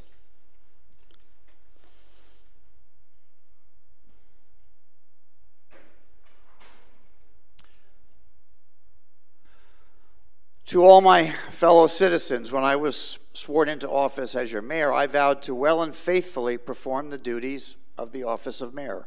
My oath promised you that I would be watchful of everything that pertains to the future quality of life we enjoy in Palm Coast. I therefore want to go on record stating that I believe it is appropriate to consider increasing salaries for your city council and also want you to know that I am paying close atten attention to your reactions to this compensation proposal. My reasons and justifications are many, and they all integrate common sense. This is not about me or our individual council members' needs. This is about managing, planning for, and protecting the future of Palm Coast with diverse, qualified leaders who have a smart management growth mentality. We should appeal to people who can afford to give us their time and talent, not only because they believe in service to their community, but also because they are suitably remunerated based on their commitment and responsibility. I believe that raising salaries would expand our pool of competent applicants, giving us a city council we expect, need, and deserve. Before I go further, I'd like to set the record straight about some of the misinformation floating around in our community. First, increasing salaries for city council will not raise your taxes. Remuneration would be equal to about 0.07% of our already established annual budget. Increased compensation will also not take funds away from any community service already determined in Council's strategic plan. Next, an improvement to finding and keeping qualified council members is a goal I've supported from the very beginning of my tenure. I have been advocating candidate development via effective succession planning at every local organization meeting that I've been invited to attend. This should be an ongoing process for community groups to purposely identify qualified and suitable successors for future government roles. Planning supports each group's vision. This is just as important for our city's future as adjusting city council compensation. Next, our charter states that city council establish its compensation via an ordinance, not on a ballot. This proposed ordinance would be formally introduced at a scheduled city council meeting. By law, an ordinance is required to be read at two public hearings. Both are open for public comment and are posted to the web before council meetings. Creating a special ballot issue instead could cost taxpayers more money if the measure pushes it to a separate page on the ballot. Please, I'll respect your comments. Please respect mine. With that said, may I challenge all of you to consider the following analysis, and my challenge is to my fellow city council members. Number one, compensation is based on outdated duties and responsibilities. The city of Palm Coast was founded over 22 years ago with a council manager form of government, soliciting volunteers for approving development plans and supervising a city manager. Palm Coast had only 32,732 residents then. Its population has tripled since.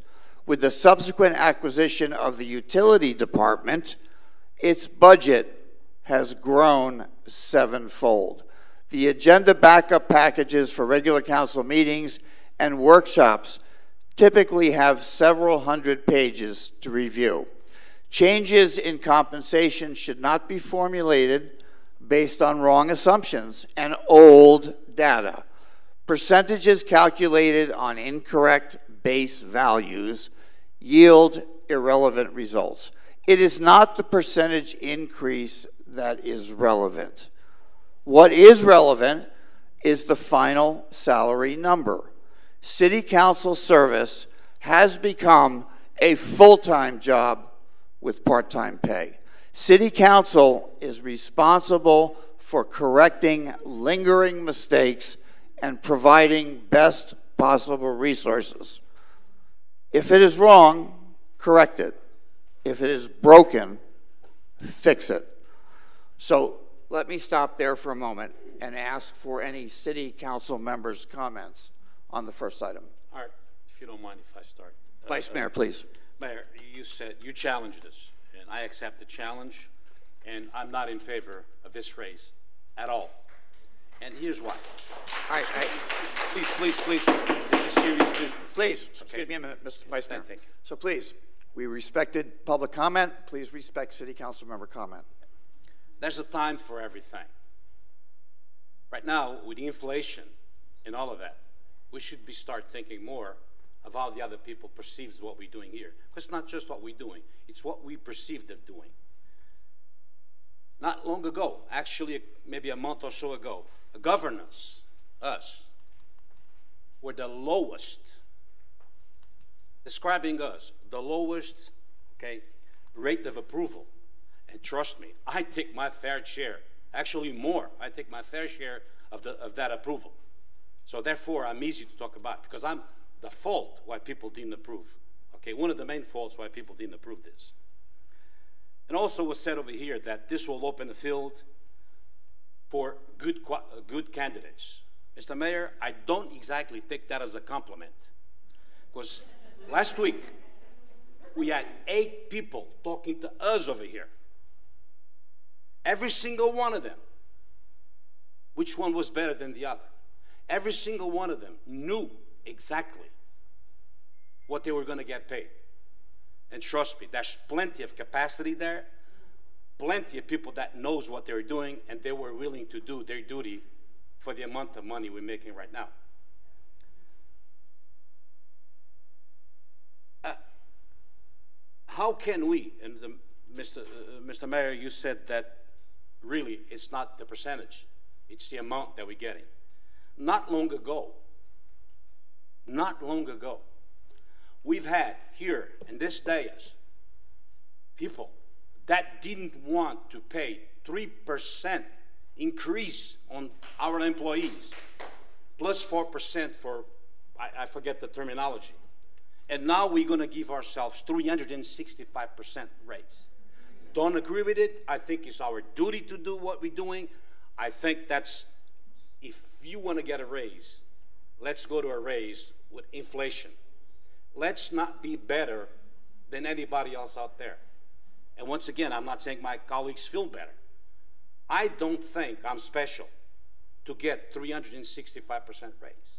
You could explain from here to eternity about this. I don't. I still think that you people, when I mean you people, you citizens, us, me, okay, should vote on something. If it comes to down to the, the size of increase, I think we should all vote on this. And that petition, sir, bring it to me. I want to sign it. If I can legally, I don't know. But if I can, I will legally sign it. I think that it's an outrage. I'm outraged with the amount. Do we deserve it? Something else. Do we put the time? Yes. But at this time, with all due respect for my colleagues, and I mean it with all due respect, agree to disagree. Okay? I don't think we should even get close to it. If we if we come up with something closer to inflation rates, you got my vote. Other than that, I'm completely, completely against it. So For now, complete- that's all I have to say. Thank Okay, you. uh, any other council member like to speak at this time on this item? Yeah, um, I'll comment. You guys okay with that? Perfect.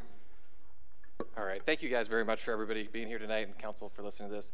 Uh, Councilman Branquinho, I'm, uh, I agree that the cost of uh, living increases, COLA increases. Um, that's something that's reasonable, but to establish a base salary so that, uh, you know, interest and percentages compound. So over 20 years of COLA increases, that's uh, not just adding the percentages, compounding. But I digress. Uh, what I am more adamant about is the fact that we don't have individuals in our community who are potentially full-time employees who have the opportunity uh, like I did, fortunately, to be able to be in an industry where I can shift my hours around. I'm in software, so as long as things are being built, it doesn't really matter whether it happens at 10 o'clock at night or 10 o'clock in the morning. I don't have to be in front of a desk at certain hours during the day. But if we have qualified individuals in our community that I know exist that don't have the opportunity to at least scale back some of their full-time opportunities to a part-time opportunity and, sub- and supplement their salary with something along uh, you know the lines of something that's reasonable, I feel that we are diminishing the potential candidate pool to a degree where we don't have candidates that are in our community, active in our community, that are willing to run for office because they can, especially if you have a family. If you have a family and you have to put in another 30 hours, 25 hours a week, and you're supplementing, you know, your full-time job with that, it's, it becomes unreasonable. And I think the, the leaders that we saw step up uh, most recently for, uh, to fill the seat uh, that was vacated, I think out of that, we really can look at that and say, wow, we had a physicist, uh, a mathematician, and a police officer, and that was just one guy. So we had other qualified candidates who were retired Army and you know engineers and completely qualified. But why don't they want to run?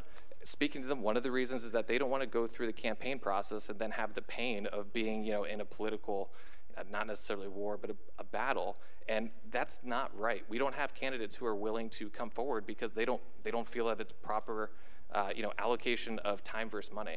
And I think we need to get back to a base salary rate that's reasonable to attract these people, but it's always in bad taste and bad light when you're giving yourself a raise, right? And there's no way around that. I think we should have a discussion of potentially uh, rolling this out in, you know, in increments so that it's not all at once, perhaps. Uh, I'm only on the council. We have term limits here. I have until 2024. If we push this into a, an augmented schedule so that this is, you know, push phased in like we approach many of our other things, I think that's a great answer. Compared, comparatively to Flagler County, who they're paid in the $50,000 range, we, our budget is arguably not only the same in the dollar value, but potentially more complex. And they have less meetings than we have per week or per month. They, they don't have workshops. The amount of work that we put in uh, for the dollar per hour value is crazy. But we all do it because potentially we can have a positive impact in our community. And now that I'm sitting up here, it's incredible how critical us five sitting up here are competent because we are making decisions that impact the future of Palm Coast and the trajectory of our success rate. I'm not saying that, uh, you know, we, we, are, we are qualified here. Thank, thank the Lord that we are up here and we have sane individuals. But we are in a point where the elected officials in Palm Coast are probably the biggest vulnerability to the success trajectory of Palm Coast we should try to have an aggregate pool of candidates that are most qualified. And that's what I think the discussion here is really around. And, you know, I will challenge uh, Vice Mayor Branquinho that it would open up uh, potential candidate pools. Retirees, uh, generally, from what we were qualified, you know, with, with our applicants, there are pension plans and there are retirement plans that don't exist in today's economy, unfortunately, but that puts someone with college loans and a full-time job out, out of the race. Don't you want people who are qualified in the diversity of age and potential income ranges and being involved in the community running your city? I'm thankful that I was fortunate enough to be in the position where I can do that. But looking forward, I think the most important thing that this council can do is try to set up the city for success in the future. So raising uh, the base salary and fixing it to some type of metric that's either a cost of living increase or uh, something else that we decide, I think, is prudent and it's necessary to ensure our success in the future, these five votes determine a $250 million budget. What other situation do you have people managing a $250 million budget that you're paying $9,600 a year? Nowhere. That is why it's so critical that we at least have a candidate pool that potentially, even if there's an iota, a sliver of hope, that someone more qualified than a potential candidate comes forward. To me, that is the most important thing here. So, you know, I'm sorry for being a little harsh with my comments, but uh, that's that's where uh, I stand. Can I just add something? Uh, uh, Oh, just we actually, actually, let me, let's, No, but let's uh, let just as everybody, to let's, it- let- it- let's let challenge. everybody have their chance and then we'll come back again on a round. Because then wouldn't. Please. When I ran for office, I spent almost a year and a half from the time I started till when I got elected. I knocked on thousands and thousands of doors. I had to stop because of COVID, but a month before November, I went back and I knocked on more doors and I stood six feet back to talk to people. Now, I was fortunate in the sense that I'm retired. I was able to spend that amount of time out there campaigning, knocking on your doors, and I probably knocked on some of your doors. Uh, I put a lot of my own money into it, but I was fortunate to be able to do that. But what I see now is we have two seats open on council Councilman Branquinho, who won't be running again, Well, and the seat here maybe. that our new, maybe not, who knows? Uh, or, and then uh, our newest member here. While we had, I think it was eight candidates come forward for this seat, they knew it was a temporary thing. It was going to last five, six months, whatever, and they would be done. But right now, for those two seats, we only have three candidates running, three people. Now, I like to challenge any of you to step up and run for one of those seats and go knock on doors, pay for signs, pay for flyers, pamphlets, host events, all of everything that's involved. Put your money into it and spend the time needed. I can tell you, this has become a full time job. It's not just these meetings, it's a lot of meetings with staff afterwards, it's a lot of phone calls, a lot of emails, a lot of people, and as some of you know, if you ask me to come out to your house to look at an issue, look at a problem, I come, and I come right away. We spend a lot of time. I, I mean, that's just the truth. And you look at what the county commissioners get paid, and the benefits. They get medical benefits, retirement benefits, same with school board. But yet, as Councilman Klufas said, we have a approximately $250 million budget. You really want to let people that only make $9,600 run that budget for you into the future? Because this isn't 20 years ago. Excuse me. Please, we respected public comment. Please respect the city council comments. Thank you. This, this is now. What, we, what this council was paid a long time ago doesn't, doesn't add up in today's world. And we need to attract better candidates. Um, we need to attract bright people. We need to attract folks that can afford to do their duty and, and run for these offices. So, and, and, you know, the other thing is ask yourself this. Now, you guys, you can read the newspapers, you can read The Observer, you can read Flagler Live. Uh, you can see how we get beaten up sometimes. Any of you folks like to get beaten up like that in the press for 9,000 bucks? Then please step up and run. But I have to tell you, I am in support of this, and I am going to vote in favor of this. And if you don't want to elect me again, that's your choice. But then at least. Sir, please. At least I'll know that we'll be laying a path for future candidates, because uh, that's the type of people we need running. Councilman, thank, thank you for your comment. Councilman Fanelli. So, one of the reasons why I believe I was selected as as the interim candidate for this position is because I bring a unique perspective to the board. I, am a younger guy. I have a a more than full time other job, including the responsibilities of this new full time job that I've taken on. I knew that this was going to be coming up on the agenda. It would be one of the first big decisions that that I would have to weigh in on. So I spent a lot of time analyzing um, all that is required in filling this seat, um, and it's a lot. I'll tell you, I, I, spend easily now two and three hours a night answering emails in meetings. Um, I, I, knew it was going to be a big job. Uh, I, honestly, it's an even bigger job than I ever thought it was going to be. Uh, I'll tell you some of the things that impact me directly that may not impact some of our other council members or mayor because of the flexibility in their job roles. For me to be in our council meetings at 9 a.m. on Tuesdays, I have to take vacation leave from the school in order to represent the city. So it actually costs me my time and money with the school board in order to be able to represent the citizens in, in Palm Coast. So I, that, that's an interesting perspective. I think that um, maybe a younger family man with three kids, um, I'm working hard to try and balance all of those things. Like um, this past weekend, I was out at a Blue Knights event. I bring my children with me. That's, that's really the, the way that I'm going to have to work it in order to be able to balance the, the council responsibilities and, and needs of our community, along with having a, a, another job and responsibilities there as well, and a young family. So I'll tell you, um, I, I am not going to tell you where I'm at on it because I, I want to hear what you have to say. But I'll tell you, I've also listened to a lot of other people already. I want to listen to our, our council and our mayor because they've been doing it longer than I have. Um, but I, I want to keep an open mind. Um, I will tell you, I think one of the things that, that has weighed heavy on me is we have to separate the position from the person.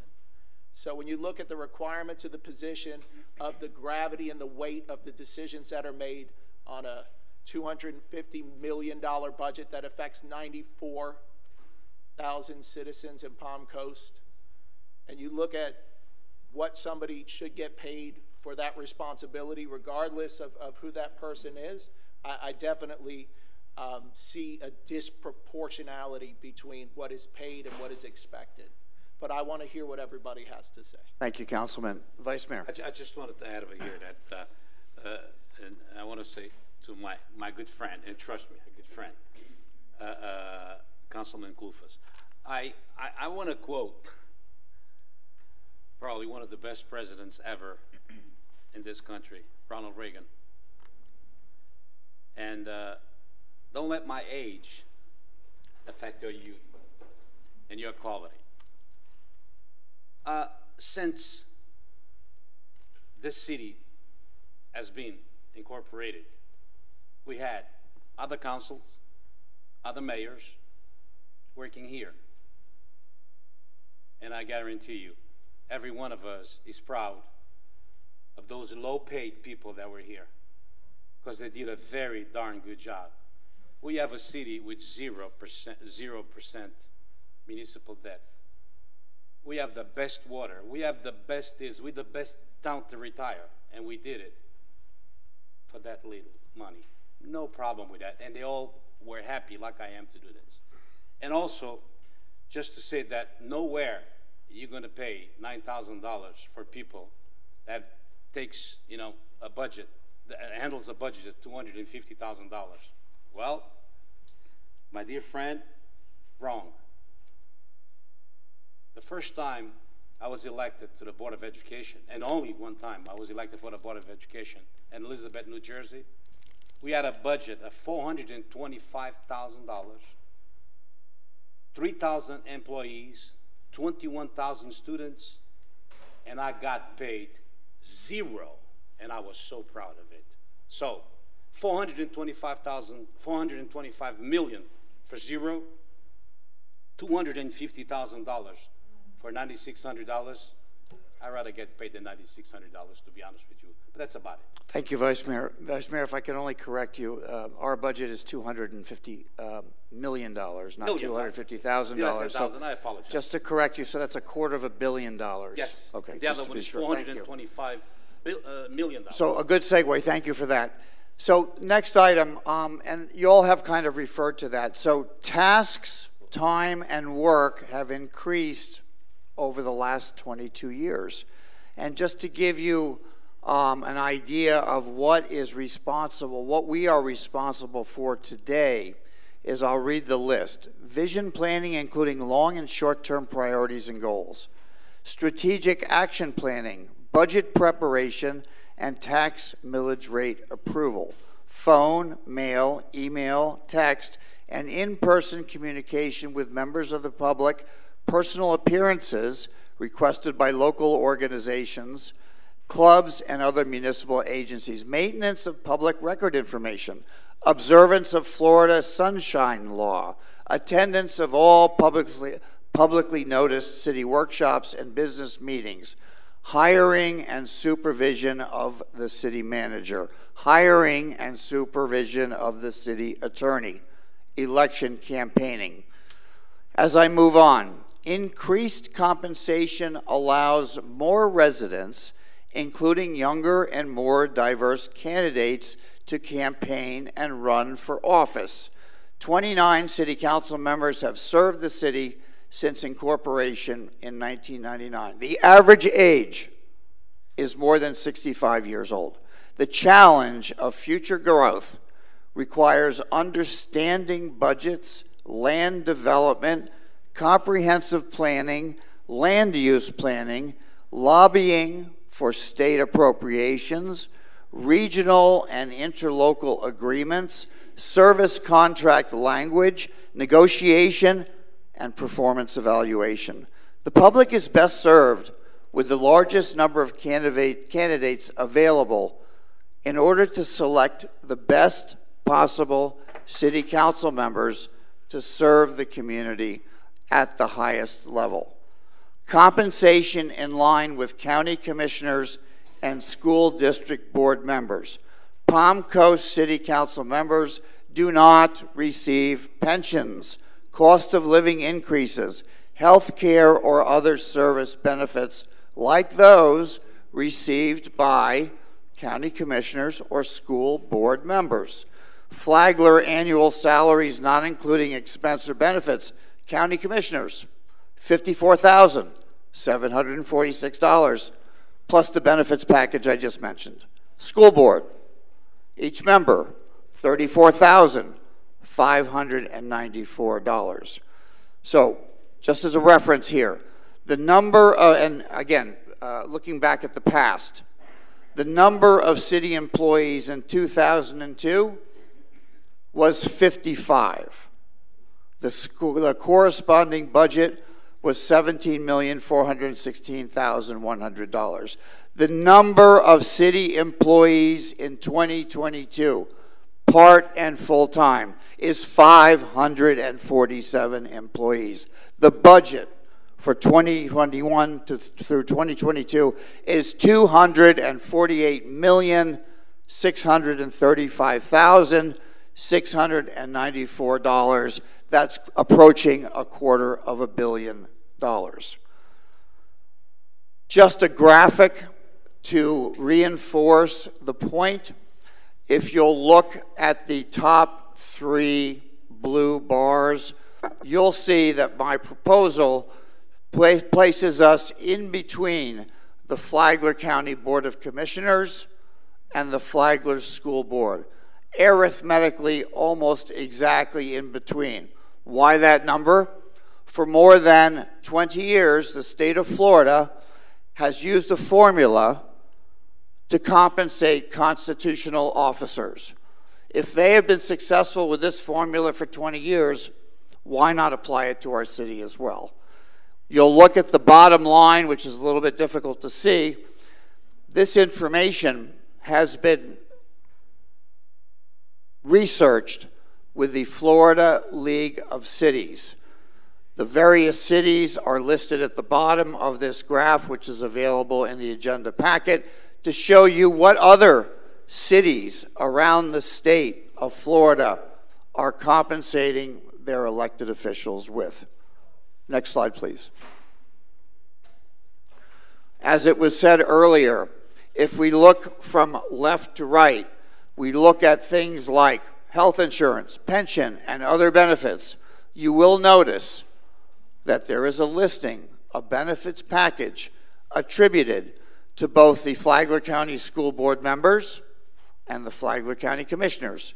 You will also notice in yellow the City of Palm Coast is not offered any such benefits to the city council members. Next slide, please. Compensation in line with elected officials serving Florida cities of similar population and growth. Those were the bars highlighted on the previous graphic. Compensation paid from current operating budget without increasing resident tax burden. The cost of a full year for this, we'll call it delta, the increased dollars for the proposal that I have made is a grand total of $175,360. Not a small number, but easily digested within the budget without raising the taxpayers' liability or payments in any way. This is approximately equal to 0.07%, seven tenths of 1% of the total 2022 city budget. If the city's population is assumed to be approximately 94,000 individuals, the cost per resident will be $1.86. Organizational cuts can be made to offset the difference. The city charter does not define council as part time. Nowhere in the city charter since the incorporation of the city of Palm Coast has there ever been a mention of part time. The term may linger from the distant past when minimal time and effort were required to approve city operations. In fact, monthly workshops and business meetings, meeting preparation, including agenda analysis, city manager meetings, and facility visits may require 20 more hours per week. Public and municipal requests for public appearances and attendance at monthly appointed committee meetings add 10 or more hours to a councilman's schedule also. Reading and responding to public communication via email, text, phone, and in person adds to weekly work hours. Councilmen offering their full share of skill, care, and diligence invest more than a full time effort on the job. A city council member, city council members received 2,827 agenda pages to read and analyze from January the 1st, 2022 through March the 17th, 2022. Just as an example, this is this evening's agenda alone. In regards to the comments of part-time, if the clerk would just flip, flip through I'll give you an example of my calendar. You'll notice almost every day is filled with requests from the public.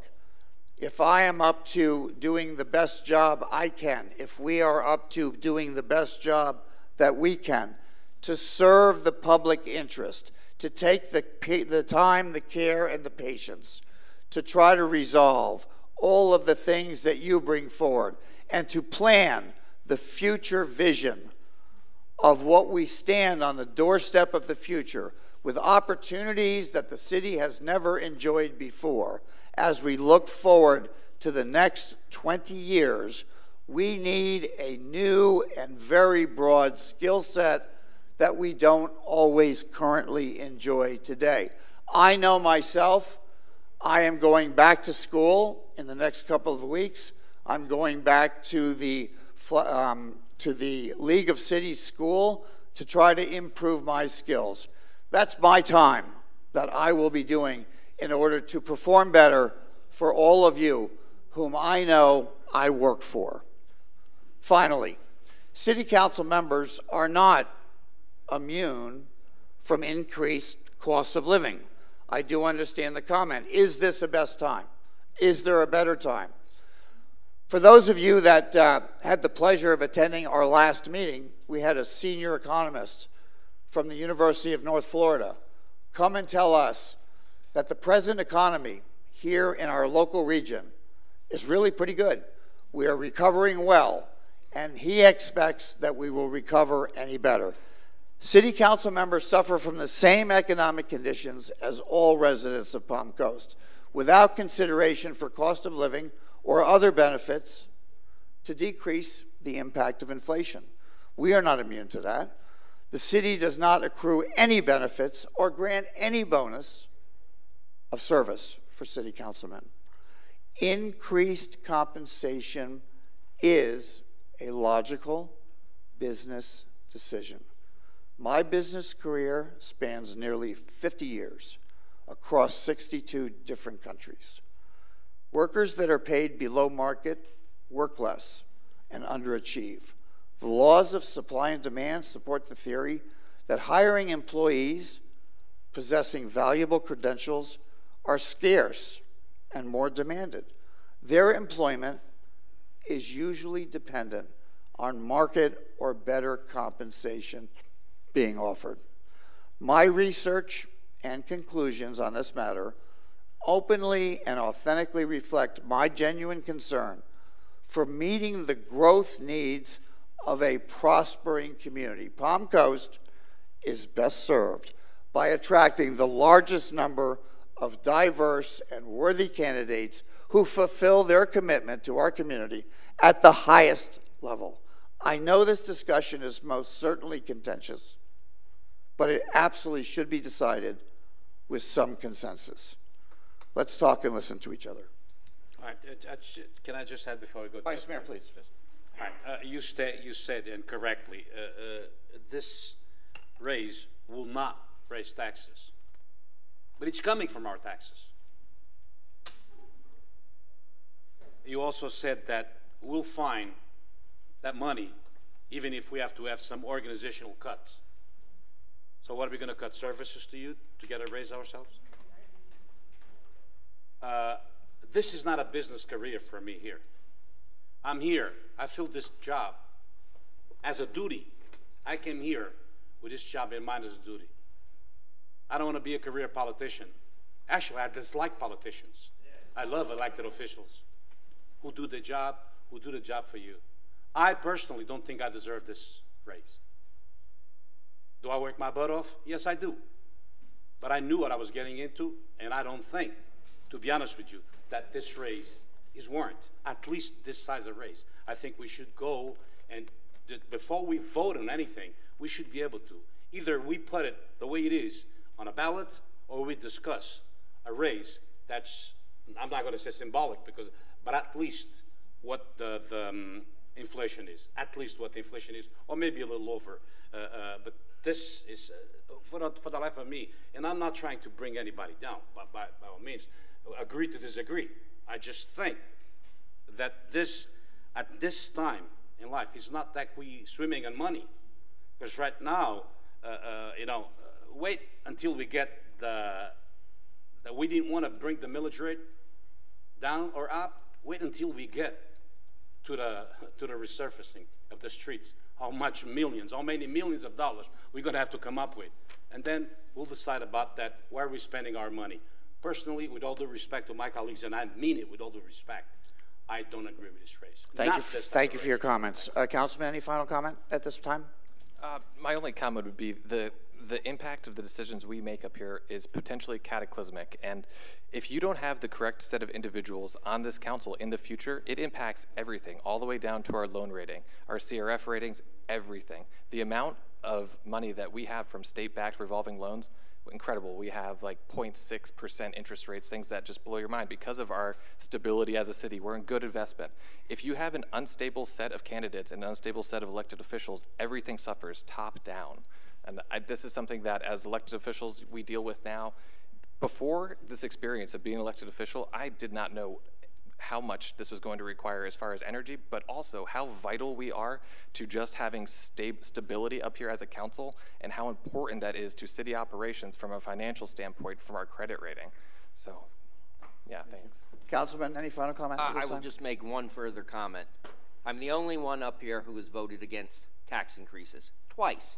Once, a county half cent sales tax increase that the county tried to get us to rubber stamp, and they forgot about it because we didn't rubber stamp it and they didn't have the nerve to go forward, and against our increase last year.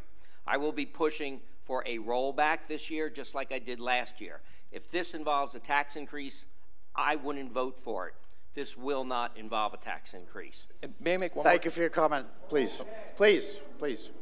Councilman, any final comment? The, the only comment that I have is um, when you come up and, and you share your thoughts on, on this subject matter, I'd, I'd like you to, if you could, share with us what it is about the position that you feel doesn't warrant additional compensation. Like, I, I want to know exactly what it is that, that you feel that the current salary is the appropriate salary for the work that is being done. I'd, I'd like to hear that. Does that complete our, uh, city council discussion at May, this time? may I make one Uh, more please? point? Yes, absolutely. One other consideration is that we have term limits in Palm Coast. We're limited to two terms. That's it. The Flagler County Commission uh, is not. But here's the thing: there's term limits on every single position, even if there aren't term limits. They're called elections. You can just vote for someone different. When we have term limits here, it forces the turnover of our elected body. And that's what also can create a bunch of turmoil because when you have an elected official like uh, the late Jon Netts, you know, I would like Jon to serve permanently on our on our board. He was a legacy, you know, and a tremendous asset. And when you have individuals like that that can serve long terms continuously, who are a pillar in our community, that's fantastic because you don't have to worry about the instability that's caused by them leaving every eight years and getting someone ramped up to speed. Um, that's just another thing to think about. Is is we have a lot of turnover in the city of Palm Coast because of our two term limits. That it's just a forced cycle mechanism. It's our change. It's our change agent. Thank you. All right, with that, I would like to open up uh, the ordinance read to public comment. So um, everyone, everyone will get their chance for public comment. So please state your name for the record and, and offer your public comment. Uh, everyone will have three minutes. Don't start the clock yet, please. My name is Vincent Liguri, Palm Coast, and that is the most disgusting, insulting speech I've ever heard. I'm a former member of the Home Rule Coalition. Please, please, please respect his time. That spent five years of his life and our life making it a city. Possible for you to sit up there. Were we all idiots? No. We created the charter. We created your jobs. And you know, for five years, how much we got paid? Nothing. Mayor Alfin, the city's attorney ordinance preamble to adopt an increase to the council's compensation states that some reasonable level of compensation to public officials. In what universe is an increase of 365% reasonable? Has the city attorney told you your proposal is not reasonable? If not, why? I think we all know the answer. As to other councilmen who say this is a lot of work, quit, resign. Mr. Fanelli is here replacing somebody. At 46,000, Mayor Alfin, you will make 31,000 and 28,000 more than the mayors of sister cities, Deltona and Ormond Beach. Why? Their duties and time requirements are the same as yours. What's next? Pensions, medical, life insurance. Chauffeur-driven cars, strong mayor. Look what we face. Garbage, up 47%. Higher utility rates, inflation, low cost of living adjustments. A, regional, regional, a recent national survey said one third of Americans make $15 an hour. Major increases in food and gas. And finally, a city council that lost stability and rules of order. Resignation of a mayor, city manager, and councilman.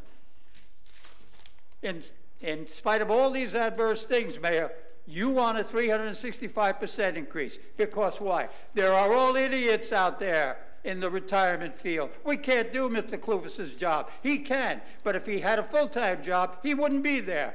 And if you don't like it and it's too much time, resign. Perhaps a 10% decrease in staff salaries would be suit, suit you. The National League of Cities says 7% of councils in medium-sized cities, which we are, receive less than 20,000. Look, my time is all, almost up. I'm insulted by your remarks. You're not giving credit. You're comparing to state. We are not idiots. We were very smart people, and I'm honored to be part of it. Let things proceed to ballot and discussion by the people. If it's not to your liking, too bad. Resign. Thank, Thank you for your comment.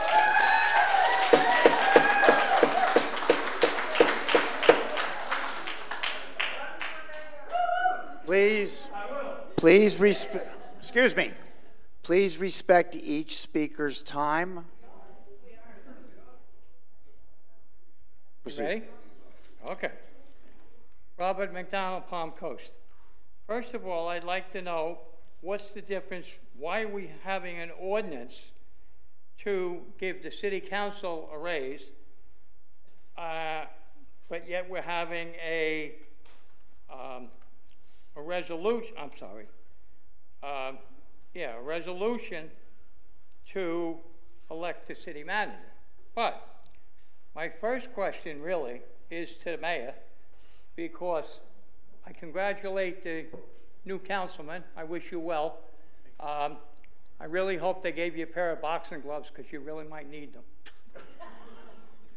um, and my serious comment tonight is no disrespect to the new councilman, but when both of these resolutions and proclamations come up, because we have a new sitting councilman who's only been here maybe two weeks, I don't think that he should be able to vote. Thank you for your comment. It's going to perfectly affect him. Next speaker, please. Mike Martin. Let me quote a politician who was the President of the United States in 1961. He famously said, Ask not what your country can do for you, ask what you can do for your country. Politics and public service used to be all about giving of yourself, not asking the taxpayers to give from their wallets to you.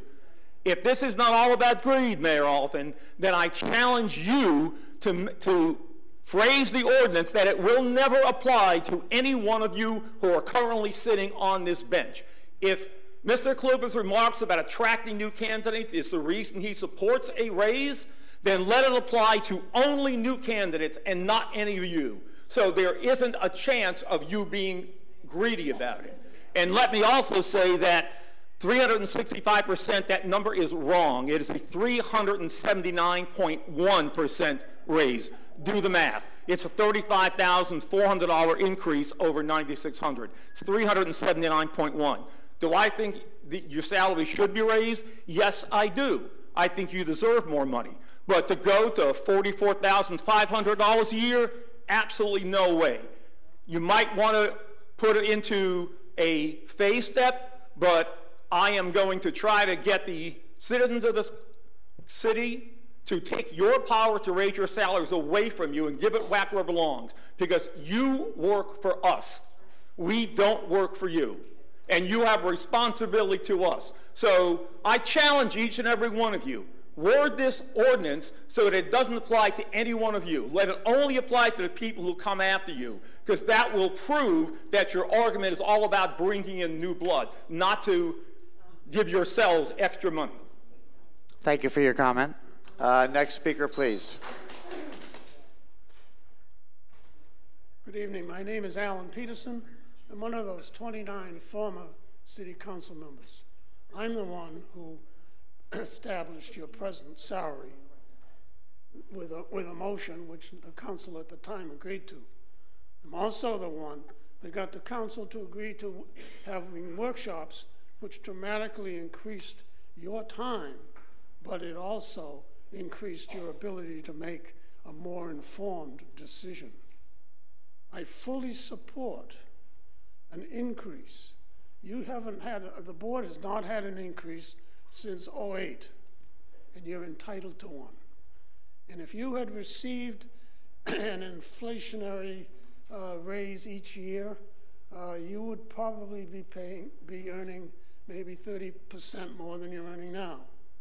I can fully support, and I think the public could support, an increase in my numbers is one, an increase of a third. That would cover retroactive inflation back to the last time your board received an increase. That would pay the a member $12,000 a year and the mayor 15,000. That's reasonable and I think you can easily uh, justify it. But anything significantly more than that, you will have a very, very difficult time telling the public why you should be entitled to more money. And to make the statement, Mr. Mayor, that this won't increase your taxes is ludicrous. If, if you're paying yourselves more money, it's coming from the taxpayer. Because if, if you could find that money, you could lower the taxes. So it is, so taxes would be increased by any kind of a raise. So if you, please temper what, you, what you're going to tell the public to something that makes sense to the public. But I can support a, third, a, a raise that gives you 12,000 and 15,000 respectively. But more than that, uh, I, I'm afraid that people will run for that job, for your job, for the money, and not because they want to provide uh, service to the public. I've got 26 years of part time service to the communities that I have lived in. I've also been a Flagler County County Commissioner. Never once was salary an issue. Service to the public is the, is the type of individual you want. People can learn the job if they are interested in public service, not just a salary. Thank, Thank you. you. for your comment. Uh, next, please, please, please, please. Next speaker, please. Good evening, Cornelia Downing Manfre. Um, Mr. Fanelli, I'd like to welcome you to the City Council. I would like to remind all, and everybody behind me, that public debate is what we were given as a gift, as a democracy, and I ask that all be respectful of your agreement and your disagreement. I, come, I wanted to come to you this evening because as a former candidate uh, for mayor and city council, it was a hard lament to run because I do work full time. However, I know as my husband, former Sheriff Manfre, was paid as a constitutional officer, I'm taken aback that the city of Palm Coast does not pay you as constitutional officers. I believe the amount of time that you put in is tremendous. Um, Mr. Mayor, I did see you at 8.50 this morning for the planting of the tree for Mr. Moden. That is ours. By simple meeting time, review time, you are talking a minimum of 20 hours, public time, phone calls during the day, in the evening, and in the middle of the night, more hours. Not to be compensated for that you're losing the time value of money for yourselves personally, and as I thought I would be if I had been elected. I understand the lament by the public is it going to raise taxes? If it's not going to raise taxes, and we want to make a point, where, what can we trim that makes it justifiable for you to be able to be compensated for the tremendous hours that you put in? Candidate growth, ditto. I agree with you. It is imperative that you have people that are coming out of business communities that are able to address the type of situations that are coming forward. This eh, city is not built out. We have more coming. We have ma major corporations and medical developers looking at us. If we do not address them timely, expeditiously, and professionally as public officials, that, that takes us back. We don't want that next really great employment opportunity to go to another city because of the way they're received. And I think you're doing a great job receiving. I think you should be compensated for that. As, as far as the ratio of the population, I was here in 99. I know what it was like. I know it was hard work establishing this city. Uh, Mr. Peterson, I appreciated all of the work that you put in, but this is 22 years later and we are behind the school board, you're behind the Flagler County Commission, and I believe you do a lot more work. So I'd like the public to support it, give the debate, and make a, a vote that makes everybody comfortable. Good Thank luck. you for your comment. Next speaker, please.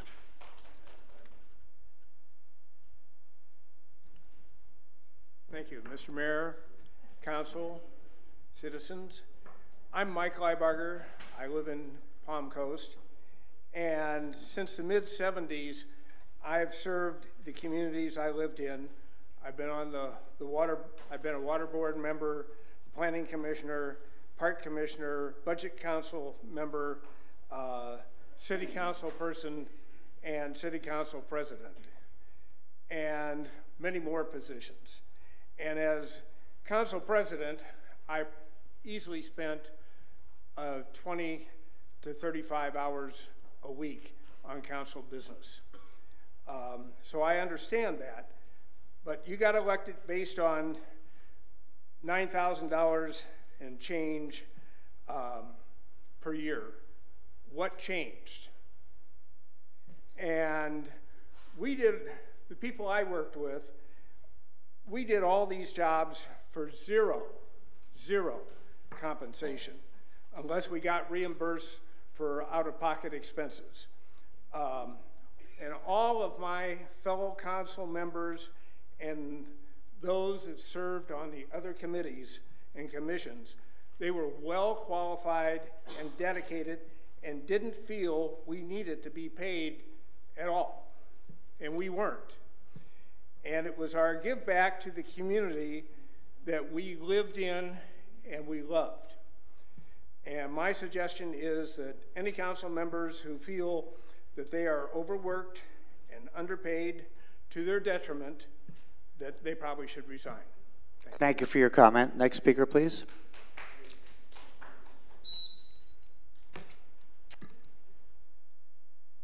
My name is Janet Castaneda. I live in Palm Coast. Mr. Mayor, I am protesting the City Council's money grab by giving themselves a 365% or more pay hike. The optics are horrible, and I say no to pay raises for the mayor and city council without a vote by the people, the people that are your constituents that you represent. Why don't they have a participation in that? Now, I did some of my own little research, and your triple digit pay hike is not warranted or competitive with some of the other cities in this state. For instance, in one Florida county, I found a half a dozen cities either prohibiting compensation to any elected officials or limiting the compensation for a mere dollar. It's a philosophy. They want public service, civic minded people. Another eight gave their mayor and city council 10,000 or less. Another one, this was an interesting concept, gave their mayor and city council $20 for each meeting they attended. The point is, what you're being paid today is not is so little that there's no other city here in the state of Florida that's paying their city council that amount. There are some that are paying them nothing. The city does not need to increase its compensation for any of the members of city council to encourage qualified candidates. That's as evidenced by the eight applying for the recent vacant city seat, vacant um, council seat. Eight. And Flagler Live reported on March 15th that most candidates had strong credentials. That fact alone flies in the face of the purported reason for quadrupling your compensation. The proof is in the pudding. We don't need people on our council that are willing to spend our tax dollars to line their pockets when there are maintenance issues with assets that the city already owned and needs to be fixed. And you guys were real happy with trying to build a pool. I mean, that's all money and it has to be paid for. The residents of Palm Coast want a civic minded council, someone who believes in public service. And like some of the other speakers, I have volunteered at schools, at city, at, gosh, you know, other places. I volunteered for nothing. And that is part of how we give back. So please, if you need money, I would suggest you resign. And there are qualified people here in our city. Thank, Thank you, you for your comment. Next speaker, please. Uh, uh, good evening. My name is Donna Walsh. I was here for the last meeting. I was really here for the pool, uh, for children to swim in clean, beautiful water. And I wanted to apologize that you thought that I said that I, I thought you, you were stealing. I am so sorry that um, you uh, that I miscommunicated because I was not saying that you were stealing. So I am so sorry that that happened. Uh, what I was saying, because we were talking about the raises, even though I came from the pool, I came from the pool, um, was that when I was voting, it was brought to my attention that uh, the mayor was a realtor and that he was very heavily interested in real estate. And so I didn't vote for him because I love the trees. I've only been here a few years and I heard older people like the old Palm Coast. So I, I um, just particularly care for my neighborhood that had a lot of trees and now a lot of them are gone and the deer are looking for places. So anyway, that's what I was saying. I believe in a raise. I believe that every dollar has an assignment. I believe in dreams and visions. I believe uh, that I believe in trimming. What she was saying was trimming, because I believe that there's a lot of services that probably, you know, we need some awareness. Somebody who can like look at everything and say, you know what, this actually really isn't great here. This isn't really great. we need to know what is going to edify and cleanse, continue to cleanse Palm Coast, because there's people praying. I, I pray. And I love to pray. And I pray for Palm Coast and the sex trafficking. So I have dreams and visions. So uh, I understand your dreams and visions, appreciate you as leaders, but every dollar has a, uh, an assignment, just like Dave Ramsey. And uh, yeah, we do need money to get some things done. And so I just say, uh, let's think about trimming and great things happening. Thank you for your comment. Uh, next speaker, please. My name is Sims Jones, and I've been approached by numerous people. People say, You're running for office, you're running for Palm Coast City Council. And what do you think about this raise? And I think the mayor and the city council people, they're on drugs or they smoking something or where can I get some of that stuff? And, you know, I tell them, I said, well, you know, a workman is worthy of his hire. If they're doing a good job for you, then give them a raise. But then they come back to me, but are they doing a good job? And right now, the people do not feel that the city council is doing a good job. So, you know, uh, it's, it's very hard to try to convince them that we should allow the city council and the mayor to get a raise when they're not doing the job. I hear all the time, what about the people? We voted them in to do things for the people. We hired them to take care of our lives and to make our lives better. But all we hear is them taking care of what they want, the agendas that they have. They don't care about the people. Then when this thing came out that, oh, the people are not going to have a vote on whether y'all can vote on a raise or not. That the city council can vote itself a raise and the people can't say nothing about it. That's not good for the people. The constituents don't like things like that. And, uh, you know, and they, and they say to me, you're, you're running for office. What about you? Do you think, are you going to fight for us, the people? I said, yes. I'm going to be the voice for the people. Ms. Mr. uh, no campaigning, so please stick I'm to the not point. campaigning. I'm telling you what this is what I said to them. This ain't a campaign. This is because I love Palm Coast. I love the people of Palm Coast. And when they come and they tell me how they are feeling and how they are upset about the way things go, I listen to them. And I came and I said I was going to come up here and I was going to speak for the people. And that's what I'm here to do. I'm, I'm for a raise, but I'm not for the way people want it now. The people don't want you to have a raise, and I have to stand with the people. I don't think that you should get a raise for right now. Maybe at some later time when people feel comfortable and they feel that they can trust their government. Right now, they don't trust their government. So I wouldn't say give yourself a raise when the people don't trust you. We're supposed to be working for them, not for ourselves. Thank you. Thank you for your comment. Next speaker, please. Steve Carr, Palm Coast. Uh, all of my career, uh, I was my salary was based on the merit that I did, the good job I did, and everything. And that was that was a good way of having a good uh, salary. But I did not get to choose which hard problem I could just ignore. Just ignore it, not handle it. I have been to the city council for over 12 years complaining about the same problem. It's too hard for the city council. Who do we get? You know? Who do we pay to get a fix? You're asking for more money. What guarantee is there going to be a fix in that more money? I don't, I, I don't get it. I really don't. 12 years I've asked for, the, for a fix. 12 years it's been ignored. City council, there have been residents that have come up and made suggestions as how to fix it. But the city council has always come back about, wow, what about this? What about this? What about this? And it's not getting fixed.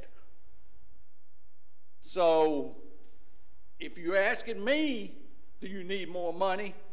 Fix my problem, and then I'll say yes. Thank you. Thank you for your comment. Next uh, speaker, please.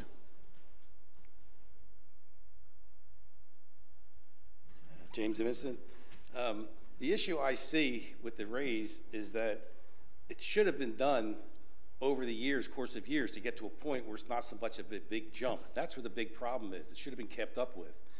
And in, in smaller increments. But you go into this job, again, as everybody said, knowing what the pay is, basically with the intent, supposedly, to just to help and serve the community. We serve our church on the music team. We do it because we want to serve the church, and that's our talent. We serve them. We didn't say how much are they paying for us to play. And sometimes they'll offer compensation. We just no, we're just doing it. If you're doing this for nine thousand dollars, you should have you should probably be doing this, I would assume, just to serve the people. Any job I've ever worked in, I earn a raise on performance and merits, not just because someone else makes more money. Now, maybe the commissions are making too much money. Maybe we're setting the goal too high. I don't know. To answer your question, sir, why, why are we opposed to this? The council has not demonstrated, what I can see, any impress, anything impressive enough to warrant such an increase. You put in a lot of hours. It seems like you're putting in a lot of hours, but we don't seem to be getting the quality of service for those hours. Uh, for example, I, have seen this over and over for over a year and a half now. You vote against things we don't, you vote against things we want and for things we don't want, and issues that should have been tabled. You brought up issues that should be tabled. No, no motion is uh, seconded to get a motion to, to get it tabled so that I can go research and maybe maybe get a congenial uh, solution to the problem. So, I mean, basically what you're asking for is we go to work to, to this morning, gas is $2, and come home it's $4. That's what you're asking for instead of having that increase over many, many years. You basically shot yourself in the foot by saying you're looking for more qualified people. I mean, Mr. Branquinho said, Mr. Branquinho said you just insulted yourselves. So, I mean, if you're agreeing that you're not qualified enough to do the job, then the compensation should be that, not that much that you're asking for. A reasonable conservative amount with inflation and a little bit more should be more in line in what we're looking for. We'd probably be more agreeable to that. Not 30 some thousand dollars, 300, almost 400% increase. It's just quite unreasonable, especially in this time of year. Thank you, Thank you for your comment. Uh, next speaker, please. Hi, I'm still Chantal Proniger. All right. Um, I would say no to 65, uh, 365% uh, salary increase. Uh, nobody gets such a raise without the people approval, and as somebody was saying, you work for us, we don't work for you. So we should have a say in it. And to put the thing in the right perspective, let's say somebody who works uh, uh, like a merchandiser for $13 an hour, and if you give an increase of 306, I, I had 364% here, that person would get $60 plus an hour. That's not sustainable. And you say that it will not affect the taxes. I mean, we, I'm sorry, we've heard that for years now by the government. It will not take anything on your taxes, and it has been used as monopoly money. So I don't know, uh, can, we, can, can we believe that? Okay, and uh, from your own arguments. Um, uh, you, you're talking about health benefit package. Maybe you need it. Maybe that's that's something that should be included. And uh, if you say that others get three percent increase, well, why not you? When I was working, I never chose how much I could have as increase. My boss would decide that for me if he wanted to. But I never say, oh, by the way, I want 364% increase. Um, and you talked about a small management growth mentality, and then right after you say that it went from 32,000 people and it multiplied by three. I don't call that a small management growth mentality. Um, and you, you talk about full-time job, and, and, and, one of you say that three hours a day. I mean, full-time job for me was eight hours a day. Uh, and then uh, you say that you want to attract good candidates. So you really want people to replace you? Is that what you're trying? Uh, most of us are parents. And um, we did the best we could with our children, and we never got paid for it. And that was the most challenging job we ever had. Um, and I did send you an email to all of you, by the way, about that, and nobody responded. So that's my thought about it. Thank you for your comment. Uh, the next speaker, please. Hello, good evening. I'm Susan Dammer. I live in the B section. I also want to say welcome to Mr. Fanelli. Good luck. Congratulations. I'm sorry. Something. I don't know. Um, and Mr. Mayor, um, I love the fact that you are considering yourself a Constitution employee because after looking around this room, three words come to my mind, and it starts with we the people. And we the people are here to prove an old cliche wrong. That is, you can't fight City Hall because we're trying, and we're trying to win. And we just want to know, like, what do you feel like you have done? I know what you're saying you're going to do, but what have you done to feel like you deserve that? Because the last time I checked, you're considering cutting our garbage to once a week. You're considering reducing what we can recycle. You're reducing the size of yard waste. I know I had to fight for three years to have a street light put at the end of my street. That is by code what we should have. Every intersection should have a street light. And after three years, we got a street light. I fought for four years to have my swale fixed, and it's fixed because of Mr. Barbosa. But the, the house four houses down is where it drains, and it's not fixed down there. So though my swale is fixed, theirs isn't, so we still have waterfront property. Um, the, these great kids that were all up here, they deserve safety in our community too. I think that they deserve sidewalks. I remember growing up, you, you go out at night, you play on the sidewalk, and you come home and the streetlights come on. That's how it was. Our kids don't have that. Your families can load up in a vehicle and you can drive down to the one million mile long sidewalk on, on US 1. That's not really safe. It's not lit, certainly not safe, and there's a lot of animals down there. What makes you also feel like you deserve more than our first responders? Because our policemen, our medics, they don't make what you make. They're saving lives. I don't think that's justified. Um, Mr. Danko, I'm in your district. Please. Okay, I'm in Mr. Danko's district. I have posted on social media because many of my neighbors want to have questions answered. I posted all over different platforms on social media. Not only did he not answer me, maybe because he couldn't answer me, but he blocked me. My councilman blocked me. So I don't think that that's, that's very nice. But that councilman also, like somebody mentioned, rejected a 3% increase, 3% increase for your city employees. But yet you want over 370 whatever percent that is? I just don't think that that's justified either. So let it go back to the people who voted you in. Let it come to us to say yes or no. Mr. Branquinho, thank you for everything. You've earned my respect. Thank you for your comment. Are there any? Please, please, please. Next, next speaker, please.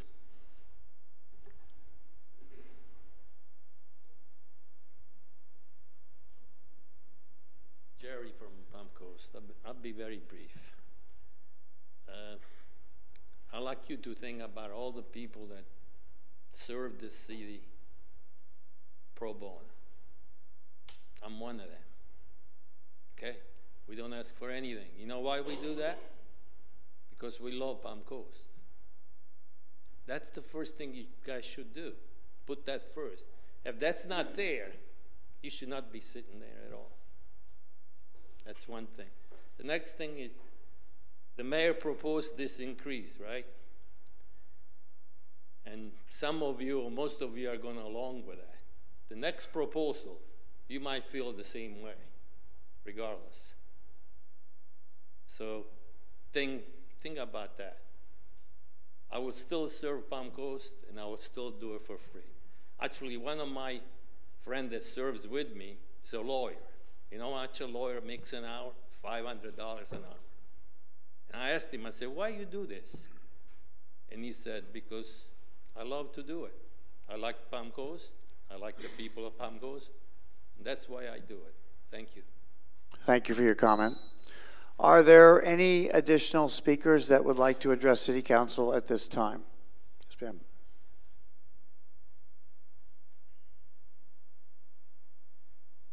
Hello there. My name is Leslie Johnson. I live right here in Palm Coast. I want to thank you for allowing me to speak, and I want to thank you for your heartfelt comments tonight. You made a lot of sense. You have a lot to say, and it's greatly appreciated from all of us, I do believe. I keep hearing the same theme come from a couple of you, and I'd like to bring it to your attention if I may. Number one, y'all called yourselves stupid. You said you were not qualified candidates. Why? Because you weren't being paid enough. Why? Because people who get paid low amounts are underachievers. Is this what you think of yourselves? I'd like to ask you that, okay? The next thing I've heard is that this is a full time job. I believe what we are seeing is a misunderstanding of what is employment versus what is service to our community. Now, having said that, I'd like to tell you that I do believe you put a lot of who you are into your job. I appreciate that. I appreciate you taking your time. I do. I really do. I think most of our neighbors believe that too.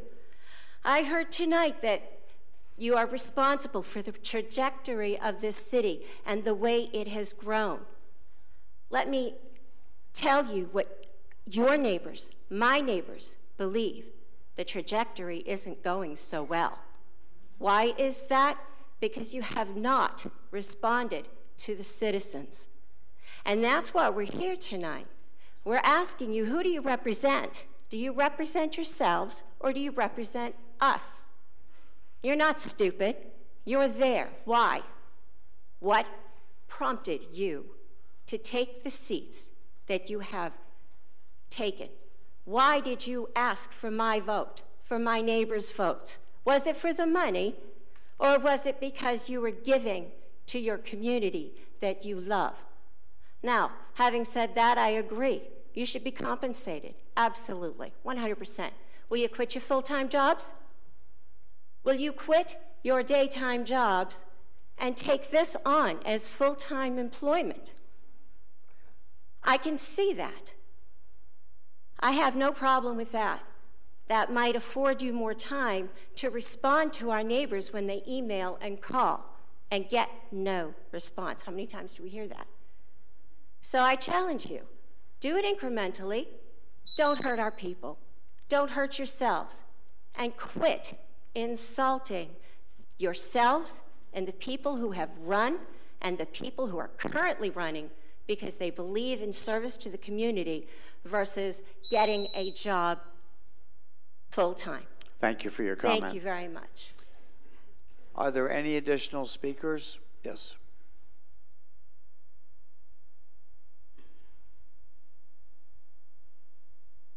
Hi, my name is Lisa Perkins.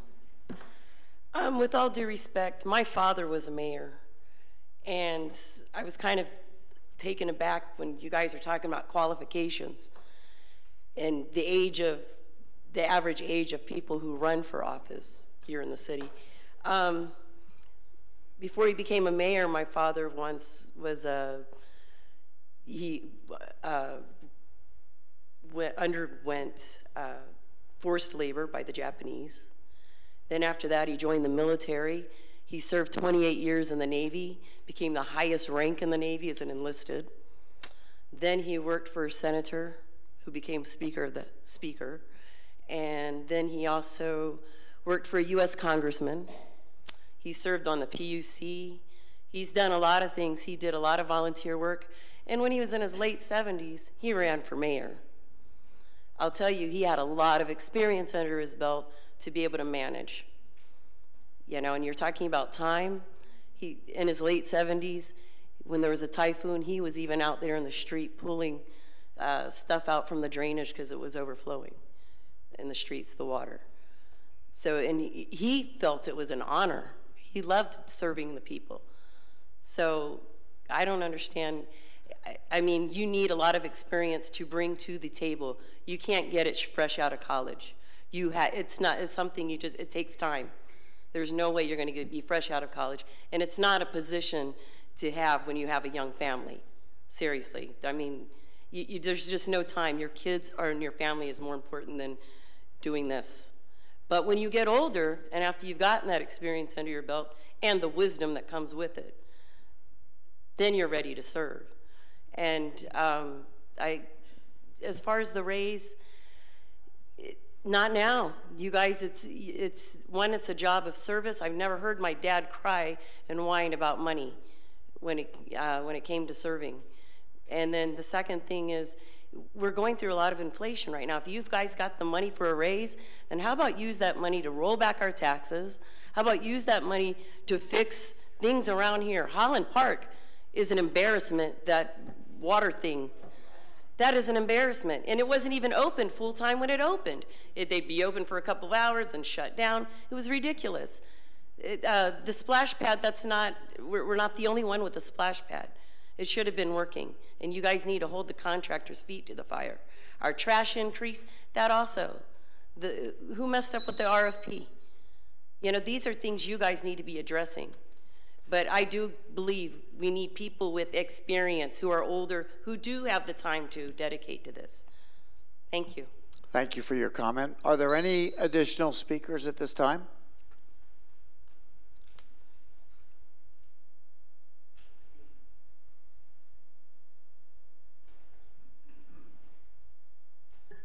Alan Lowe. I won't mention I'm a candidate like other people have done. I deserve, I, I, I think you deserve a raise. I'm not sure you deserve the raise that you're asking for and the increment that you're asking it for all at once. I'm insulted.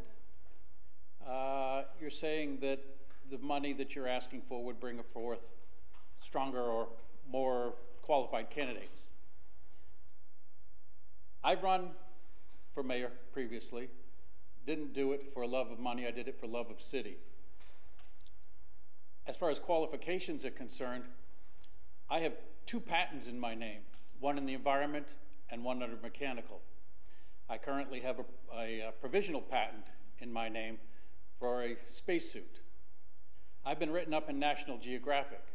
I've owned my own companies, 40, 40 Please, no campaigning, please. Just- I'm not campaigning. What I'm telling you is that I've been insulted because I've been, it's been alluded to that maybe at the current pay, you're not uh, bringing forth candidates that might have the qualifications. I think that you should take that back. I think that you are right. You deserve a raise. The position deserves a raise. But I think that, that the wording that you've used is insulting to me and perhaps other people. We have founding fathers here, well, our local founding fathers here. They feel insulted. That should insult the entire city. But I do think you deserve a raise. I think if you want to go for the raise that you're looking for, I agree, maybe put it out to vote. If you want a cost of living increase, if we say, I, I know that this isn't the correct number, but if you go $9,600 and you go back the 22 years and you give yourself a 3% cost of living, uh, cost of living increase compounded all the way through to today, it's a little over $17,000. somewhere between, I've heard earlier, 12,000 and 17,000. I don't think there's a person out here that would argue with that. The raise that you're talking about, at one jump, and I know, you know, I, I might be making a broad brushed statement, but I think that uh, you really need to consider the amount in one jump. Increment it, prove it's, it's worthwhile, and then prove to the people that, that you deserve it. But I do believe that a raise is, is, is due. It's been since what, what did they say, 2010, since, since the raise has been given. Thank you. Thank you for your comment. Are there any additional speakers at this time?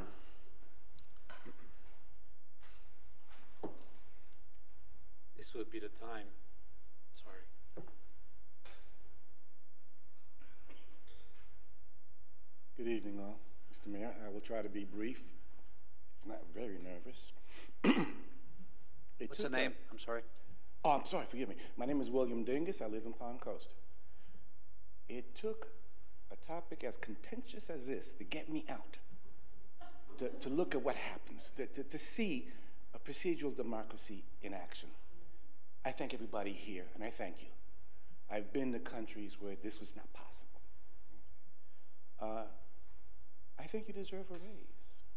I think what's most unpalatable for us is the 365% raise. Uh, here's a question, and let's make it rhetorical. If you take the pulse here, if you listen to the will of the people, will it persuade you or dissuade you in one direction or another? We don't know. You know. If we do nothing, you will vote yourselves a raise, potentially. We don't know. Your elected officials, will you listen to the will of the people? We don't know. As far as uh, Mr. Branquinho is concerned, thank you for your candor and your honesty. Thank all of you for your service. Again, I'm not in favor of this particular raise at 365%. Maybe something, as the previous gentleman mentioned, might prove uh, more palatable to us. Again, thank you. I'm done. Thank you for your comment. Are there, next speaker, please?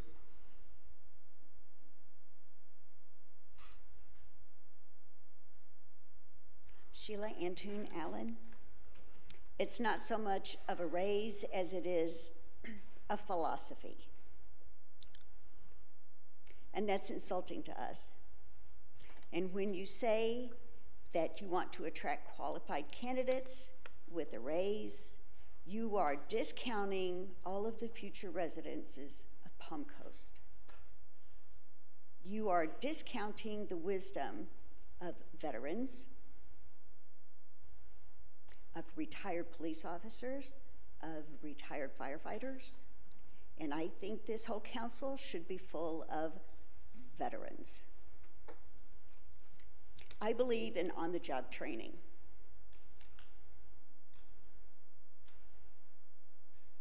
And if anyone gets a raise, it should be our first responders.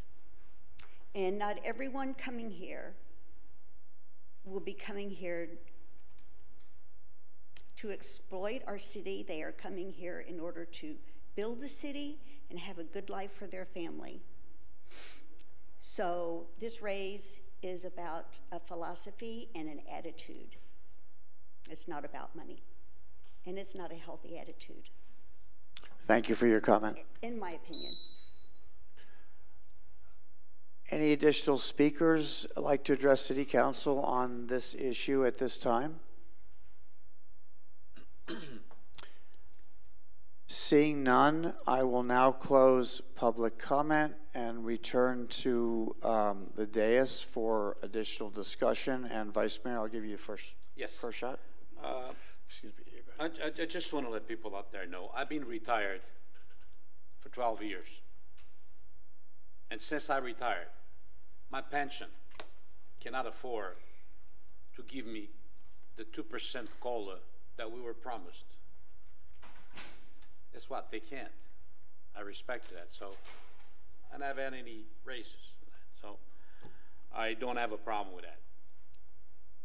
I heard a couple of things here today that they're really profound. Uh, Ms. Johnson, you said something that actually makes a lot of sense. I think we're confused. At least I'm confused. And why am I confused? We confusing service and honor with employment. It should be an honor, which I'm pretty sure it is for all of us, an honor to be here and do the job for the people, by the people. I'm sorry if I'm being uh, romantic, but it's, uh, has nothing to do with romanticism. This is what it is. Actually, I'm here because of that. I grew to love Palm Coast to the point that if I ever leave this town, I want to move to Palm Coast. Simply love it. And I want to keep on loving it. I'm not a fake. What you see, that's what you got. I've been controversial, controversial many times. And I've been. I don't fold like a cheap wallet. If I really believe in something, I'll go to the end of it. And I will go to the end of it. As to this race, I think it's exaggerated. Mr. Alan Peterson, you said it so beautifully. I don't know if he's still here. You said it so beautifully. A 30% raise, a 30% raise, it's something that I, I could vote for. Anything above that, and if anybody makes a motion here for anything above 30%, which would bring it to 12,000 and 15,000 for the mayor, I think we're not doing a service of what the people of Palm Coast is telling us they do. Because I'm pretty sure that all of us have gotten the calls. All of us have gotten the emails. I can't be the only one. And the majority of this is the people are discontent with that. We could justify all kinds of schedules. We all have schedules. I'm not saying that we don't work. I tell you one thing. I, I mean, we all work our butts off over here. But the thing is this let's not confuse service and honor with employment. Uh, Ms. Perkins, thank, is your father still alive? Thank him for me because being a mayor is not easy. Not just what you see here. This is the easiest part, believe it or not of our jobs, being here in the dais. The easiest part. Okay? But when we came here, we came here with one thing in mind. I doubt that anybody doesn't have that in mind over here, which is the people of Palm Coast. And once again, if, you, if any one of us is here, which I doubt, is not here for the people of Palm Coast, see that door? Resign. And I don't think none of us over here wants to resign because we want to do what the people of Palm Coast wants us to do. And we're going to do it. It's either at $9,600 or at $175,000. I don't care, just for the heck of it. We're still going to do what you want. And if one of us don't want to do it, that's the big door for that. Thank you. Thank you for your comment. Uh, Councilman? Absolutely. Thank you for the uh, opportunity, and thank you for all the comments there. The diversity of the comments was uh, unique and appreciated. Uh, so I would start with saying that one of the uh, speakers served on a board that uh, is made up of appointees and elected officials that don't get paid, which is an amazing thing. But we quickly forget that that board of elected officials who was paid nothing, all of them in 2016 did not look at the budget and passed a budget that was a million dollars short because they expected deficit uh, from their building uh, left them with a million dollar deficit. So every elected official to that board in 2016 did not read the budget. That is an important, and City of Palm Coast actually kind of bailed them out because we had to buy one of the buildings. But I digress in that regard. The function of our council and the success of our council is a function of our diversity. If we are all the same up here, it doesn't work. If we have no differing perspectives, it doesn't work. We, I've had the privilege of serving on multiple councils now that have been very diverse and not always 5-0, and that's a good thing. We don't all think alike. That's important. And a lot of that has to do with our diversity of background. Here's the other thing, is that things, that are applicable in today's world didn't exist 25, 30 years ago. There have been multiple times where I have literally tried to die on a hill to ensure that some piece of technology that this city operates that other units such as like the sheriff department and our school system rely on that candidates of a certain age may not be aware of and that's fine. And if you are that's awesome. That's that's fantastic. But the reality is individuals in the current day workforce will not be able to come forward and fulfill the diversity of this council which historically has not existed. We've had 65 uh, year old average. Uh, it's just not going to happen. This isn't service, honor, and uh, you know, I'm proud to be a representative up here. I think it's awesome, and I think it's also our duty with the amount of work that we do. I don't think any any person up here who had not served in a governmental capacity before would say that they expected the amount of work and interaction with the community that it's it's it's involved. And that's my honest, heart-to-heart opinion: is that the amount of energy that is involved in this is far exceeds it to do a good job, far exceeds what you would expect going into this. And trying to find a way to uh, you know say that if you want to do it for $9600 that's honorable that is honorable that's great but you're going to eliminate a lot of the potential pool for individuals that are working today that cannot supplement their time who have a family with $9600 a year. That's the god's honest truth. I think it's a rarity that someone of my age when i was 20 boy the 28 I was 20 yeah 28 years old when i got elected the first time how many other elected officials are there that have the capacity? And thank the Lord, maybe if I had children, perhaps I wouldn't have had enough time to run for this. Maybe if I hadn't been in software, I wouldn't have had the opportunities to be able to be flexible. But the reality is that candidates of a certain age can't do this because they cannot supplement the time with $9,600. And as elected officials, it's our, it's our duty to be realistic and make decisions that aren't always potentially, you know, across the board agreed upon, but being in this seat has changed me as a person in my understanding of the governmental responsibilities and how important this role is and how important it is to have a diverse city council. And this, in my opinion, at least increases, even if it's a single percentage point, that this increases the likelihood of a potential candidate being able to run in, in the future. That's something that as a can as a future uh, you know, just civilian looking on the outside, realizing that and look, reflecting back on my life, that's our responsibility is to try to set the future councils up and Palm Coast for success. And that's, that's my opinion. I know it's not a popular one, but that is how I feel in, in my heart of hearts. So thank you. Thank you for your comment. Uh, Councilman I Danko spoke next. earlier, and um, thank you, Nick. I agree.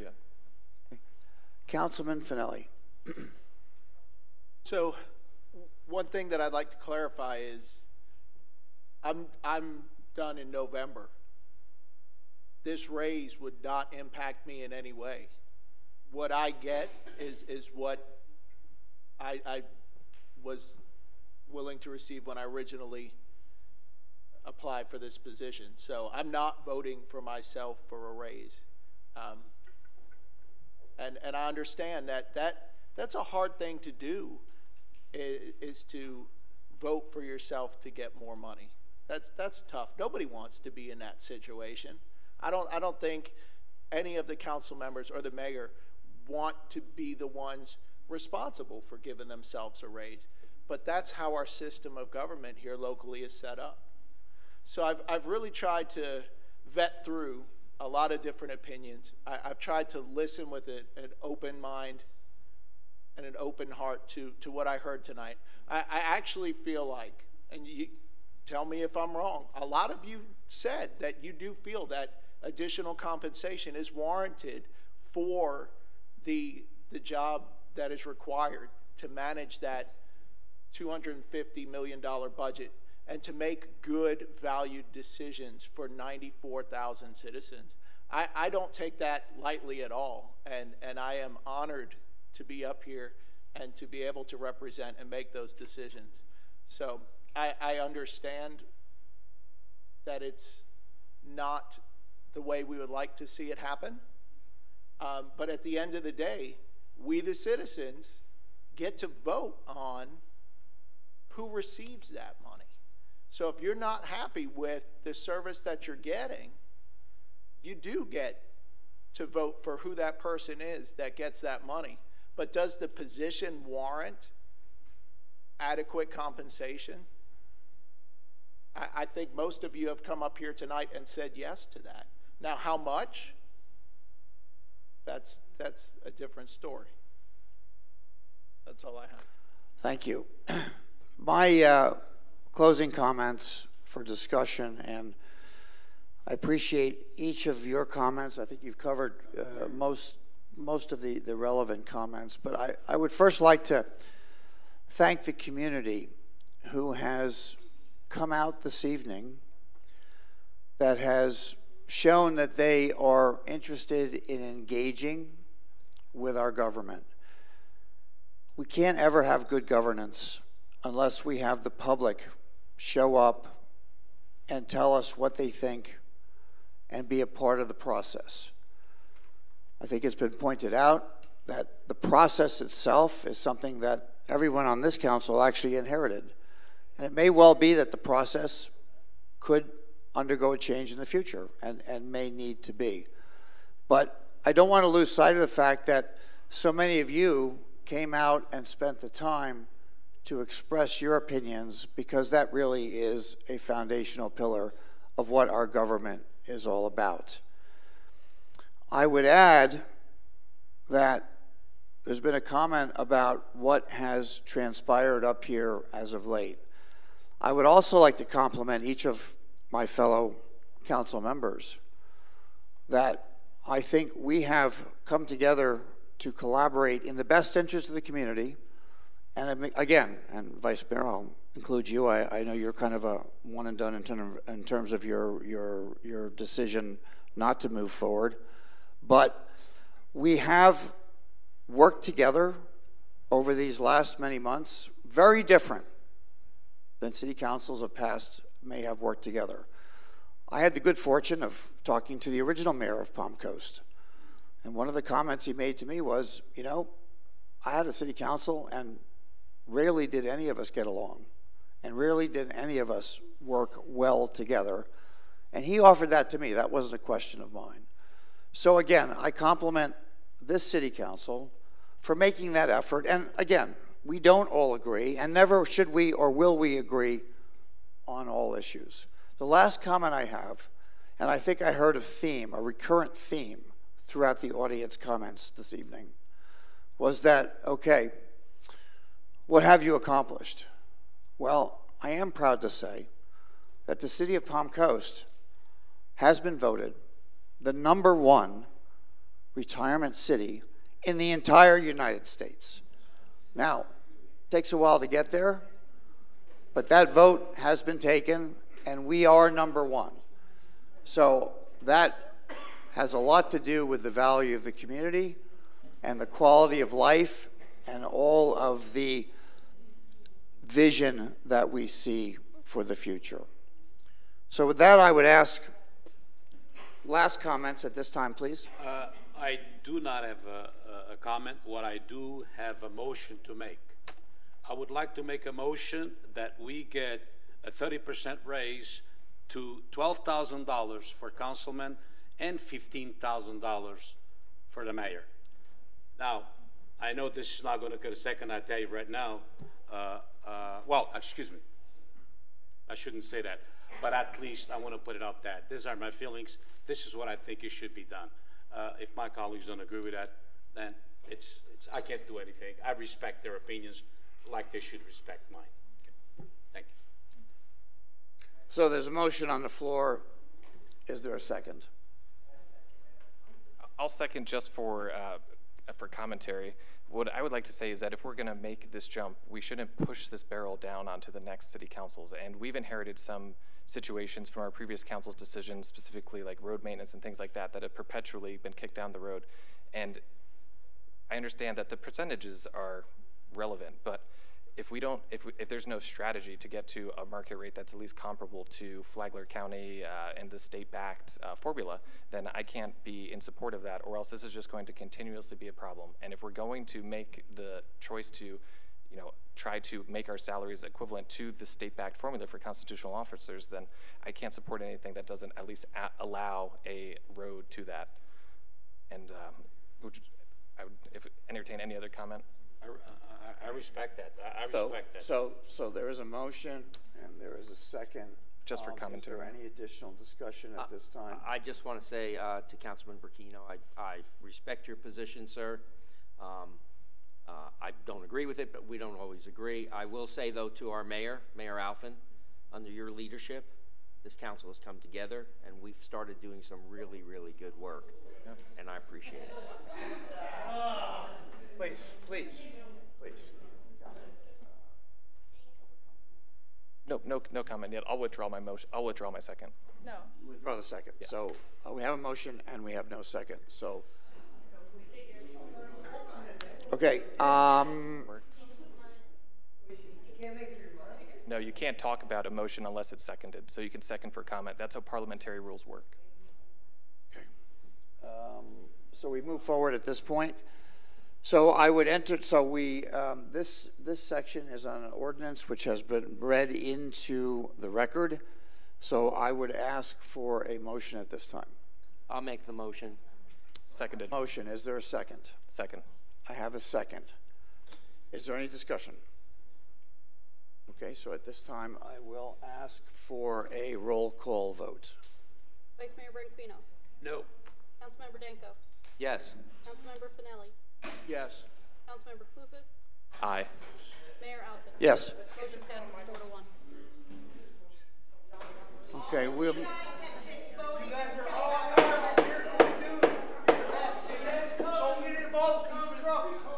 All crooks. Except you, all crooks. Especially the small one. God bless you, brother. And God bless you. You guys better follow Jesus. Get out of play. Get out of play. We had a good mayor right here. He has a heart. Helping you have no heart. You better find Jesus. You better find the Lord Jesus, sir. We'll pray for you all. No need for that. No need for that.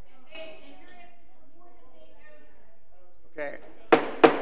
Order, please. That's the first warning, the second warning, and I will ask you to leave. All right, we'll move on with the agenda at this time. If uh, council would go ahead and read the ordinance, uh, the next item. Yes, the, the next item on the agenda is item, under item number H, resolutions. This is a resolution of the City Council of the City of Palm Coast, Florida, approving the terms and conditions of the contract with Denise Bevan for the, for city manager, authorizing the mayor to execute the contract, providing for severability, providing for conflicts, providing for implementing actions, and providing, providing for an effective date.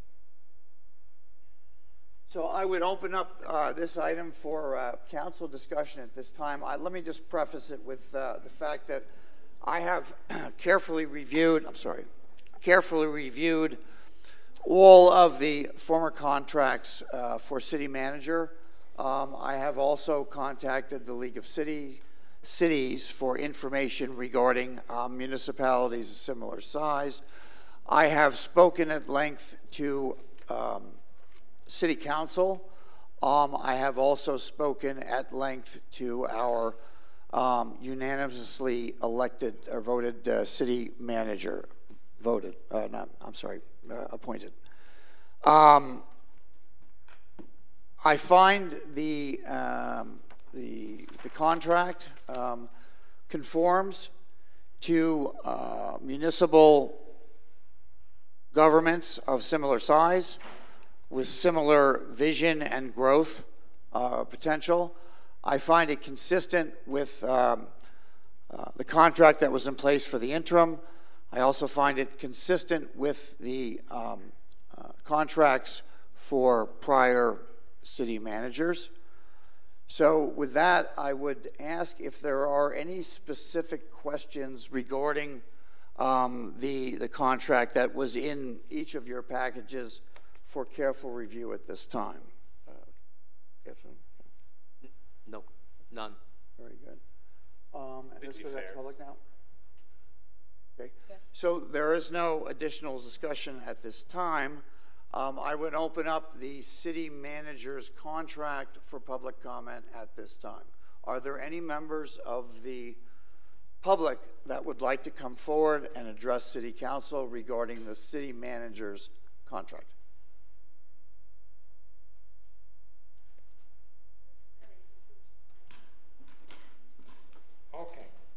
Robert McDonald, Palm Coast.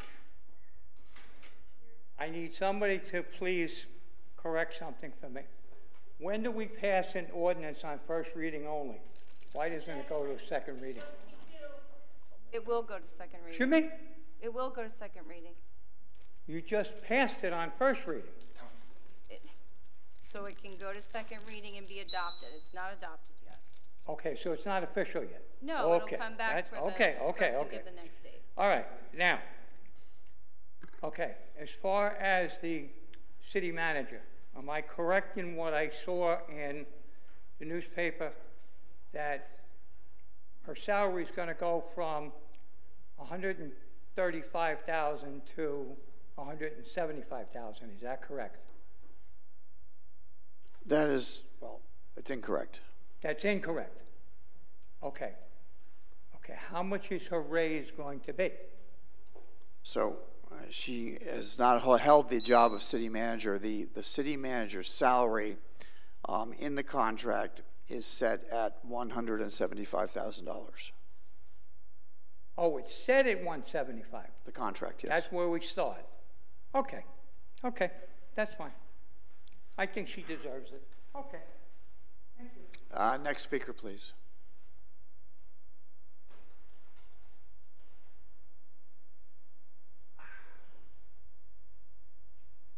Are there any, um, is there any, I'm sorry, are there any other members of the public that would like to speak on this issue?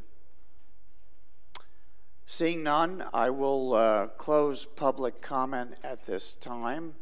Bring it back to the dais. Any future, any additional discussion at this time? I'll make the motion. And I'll second it. Okay, I have a motion, a second. Excuse me for- just for a moment. City Manager, would you like to make any comment um, before we vote on, um, on this contract? No, Mayor, thank you. Very good. Okay, then I will ask for a roll call vote, please.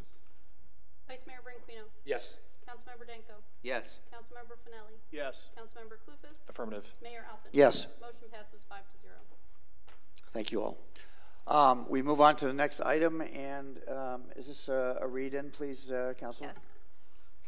This is item number six.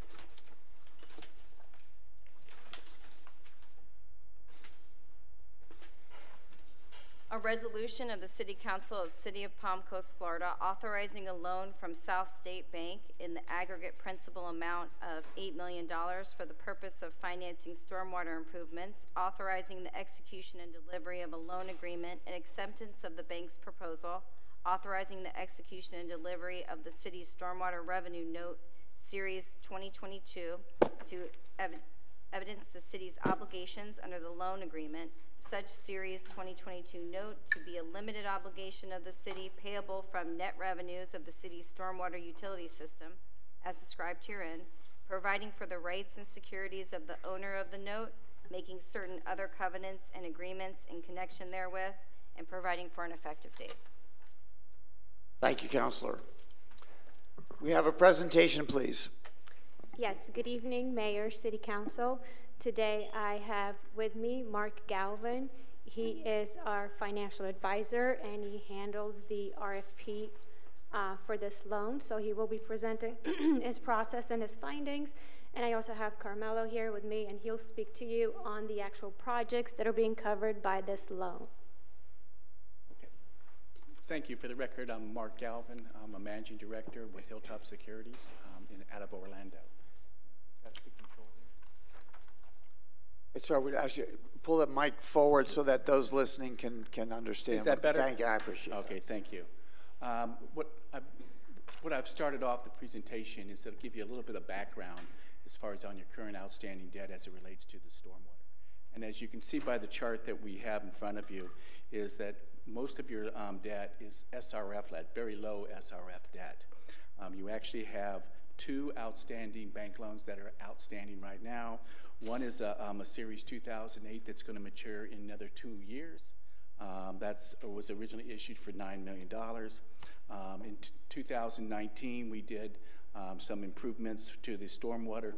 Um, that was some short-term interest rate um, uh, that goes out to 2029, and one went out a little longer. It's 2039. As you can see, the interest rate on that was 2.37 on the short end and 2.48 on the, um, the long end.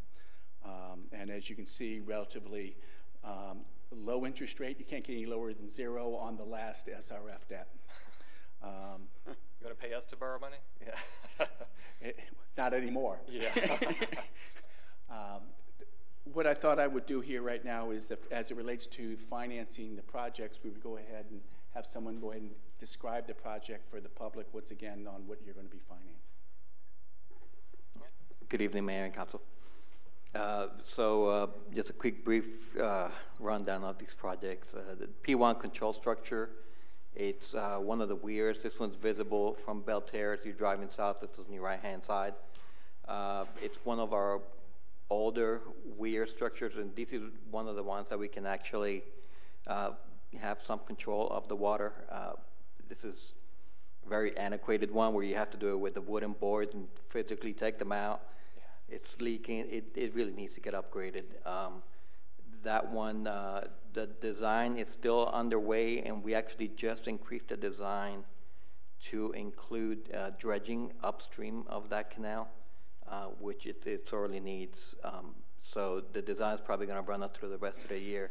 Should be going out for bid uh, and ready for construction the beginning of next fiscal year, hopefully by wintertime. Um, L4 control structure is uh, it's probably the largest control structure we have. This is a Royal Palms. As you're driving east, you'll be able to see it on the right-hand side. Uh, very large. Uh, again, this one has had some repairs in recent past after uh, some of the hurricanes and whatnot. But more importantly, this control structure handles a lot of the city's water, and uh, I, want to say like 50, 60% of, of it's a large chunk of water that flows through there, eventually goes into Graham Swamp. And uh, some of the improvements, it's not just rebuilding a new one, but it's also going to give the stormwater department some flexibility to uh, create, uh, you know, better drawdown, preparedness for hurricane flood control. Uh, also, after hurricanes, you could draw down a lot quicker as well. You have a better recovery of the system upstream of it. So that um, that one is actually uh, went out for bidding earlier this year. Uh, the bids came out fairly high, as we're all aware. Uh, everything has gone up in price inflation. Uh, that includes the bids that we get from contractors. So that came out high. We are working with the engineers right now to come up with some value engineering uh, aspects and reissue it for bid again. And um, we'll see where it goes from there. So right now we're awaiting plans for it.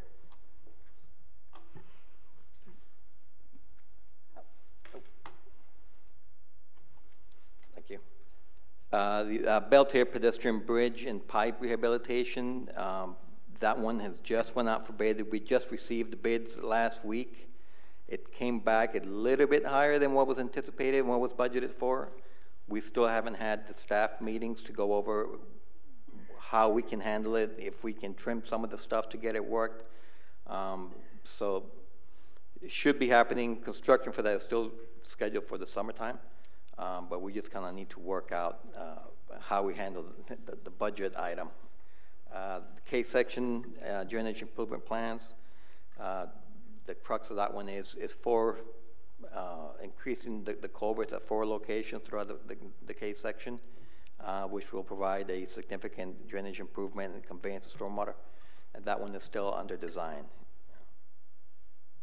And lastly, the trenchless pipe, sorry, trenchless pipe rehabilitation. Uh, I think that one is uh, two million dollars of the proposed eight. That one is actually on schedule and on the way. Um, we've already uh, uh, have requisition and contracts for a lot of the pipes that are going to get replaced on this one. Uh, so that one is, is on schedule to be completed within this fiscal year.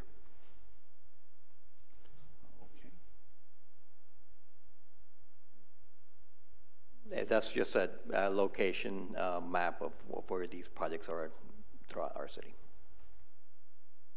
Okay, now that we've got the plan, um, as far as what you're gonna do as far as the project, the goal was to try to find out the most economical way of being able to finance that.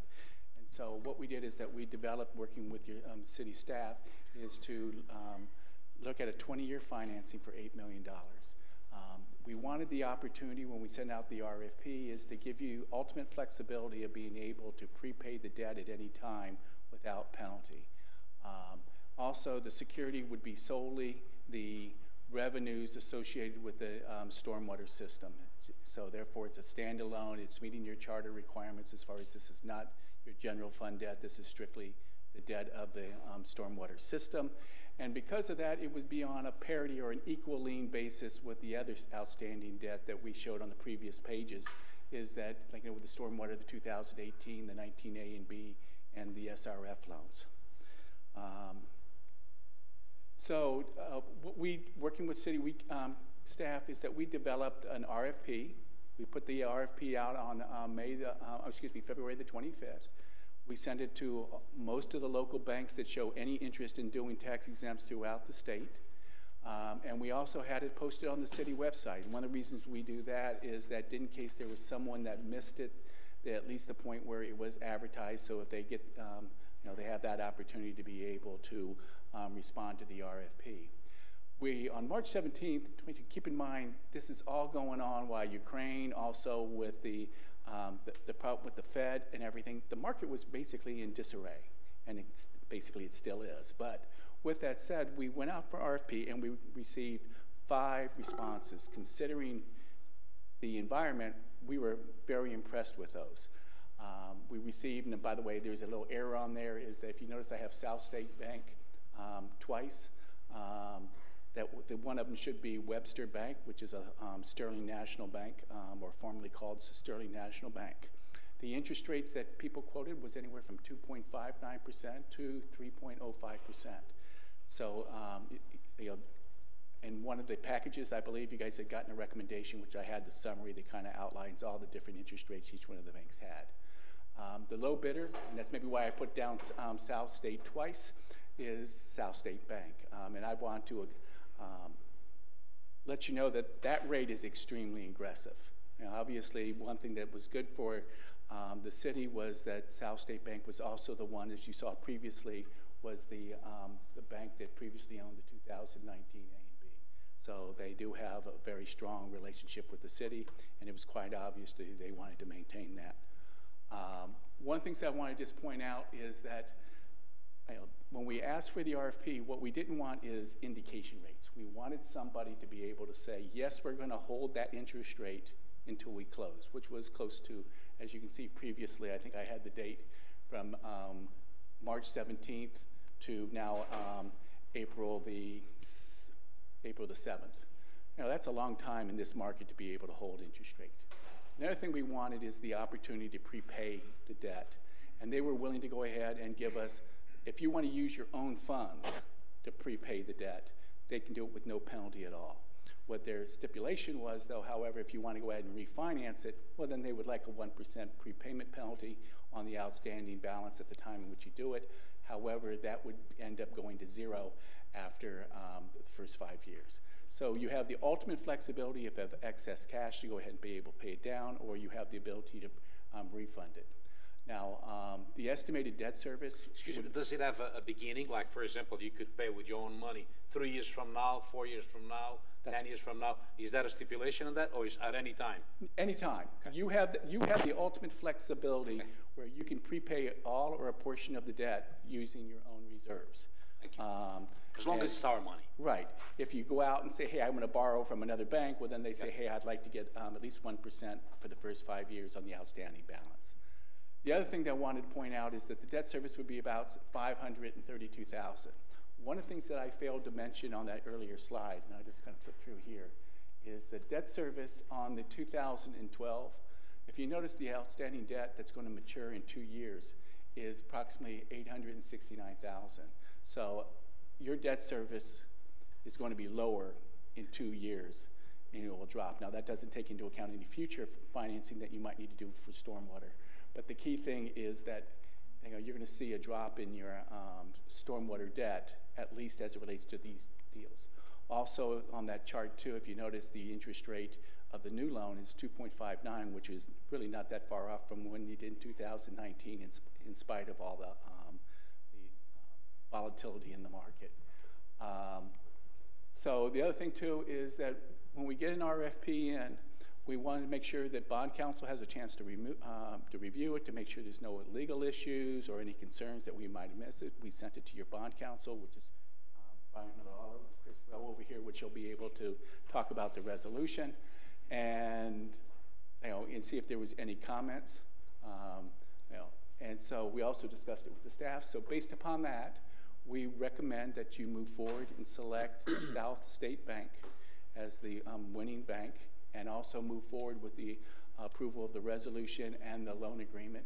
Um, if you decide to do that, then in two days we'll end up having, they'll have the cash there for you. Uh, I'll open up to questions. I I- Oh, I'm sorry. I was going to say, uh, the question I have is for our uh, uh, council. Uh, You checked it, you read through it, and everything is within the law. There's nothing over here that we should be suspicious about. Yes, our office reviewed it and reviewed all the documents. Thank you, thank you. I asked you that before. And uh, uh, let it be known, I believe that all of this uh, payments are going to come out from the, from the um, utility enterprise, isn't it? It's my understanding that that is, that's the security and that's also what's supposed to be used for funding it. Okay, thank you. Yep. Uh, so two things, one statement, one question. Uh, this is awesome for um, basically my district, District Three. Colbert uh, Lane floods out north and south, and that's on the other side of Graham Swamp. And this is really big for uh, drain down during hurricanes and things like that. And that's the uh, vulnerability to the Grand Haven area is basically north and south. They get flooded out and they can't go anywhere, and emergency vehicles can't respond. Um, and then second, my question is, uh, the timing is is tough because, uh, in your opinion, would there be a better rate available today versus March 15th? Because that was like seven and a half percent ago on the S&P 500. You know, like that was literally the dip of the dip of the dip. So I don't know uh, whether we get better results today, or is that why the uh, rate still held? I know there's bad news today again, but is is that it's so Actually, micro? To, to answer your question, you better jump on this. Understood. Um, That's is that we actually got a um, some bids in um, Yeah. on a um, a slightly larger transaction, but for a shorter period of time, and the interest rates were much higher. Excellent. Now, like the old saying in our business is, um, you know, pigs get fat and hogs get slaughtered. Yes. Um, so, you know, you should be very pleased that um, South State stepped up for you. Yes, thank you. Any question? I have no questions. So I, I just have to make a comment. Um, you know, we have a theme in the city of, uh, you know, be local, buy local. So I'm very, very pleased that our local South State Bank um, has been chosen and recommended. Um, I think that's in, in keeping with, uh, with our theme throughout the city and proud to know that our local bank stepped up with a rate which I think almost anybody else in the state would be envious of. Um, when you said jump on it, I understand exactly what you're talking about. So we are we are very pleased. So so thank you. Any other questions? Thank you. Public comment? Yep. And so with that, assuming that you want to move forward, then there'll be the resolution that you actually will adopt, and Chris Rowe is here to, um, the resolution and loan agreement, um, and, it- and is available to answer any questions that you might have. So I'll just, before I open this up for uh, public comment, I think I would make one more statement. One of the main reasons that we are afforded such a favorable rate, which again would be envied by any municipality in the entire state of Florida and perhaps anywhere else for that matter, is directly a result of South State Bank stepping up, but also the relationship that they have built with our finance department and their fiscal conservancy. They have done an outstanding job to impress a rather important institution that they are stand up to the muster and are able to collaborate with a bank because this is a long-term relationship. So banks don't enter into these lightly, and our finance department staff has impressed this bank to the point where I probably would think that there isn't another loan out there from them at this level. So congratulations and kudos to all of your department. And city manager, would you like to comment? I kind of stole your people from you and I apologize.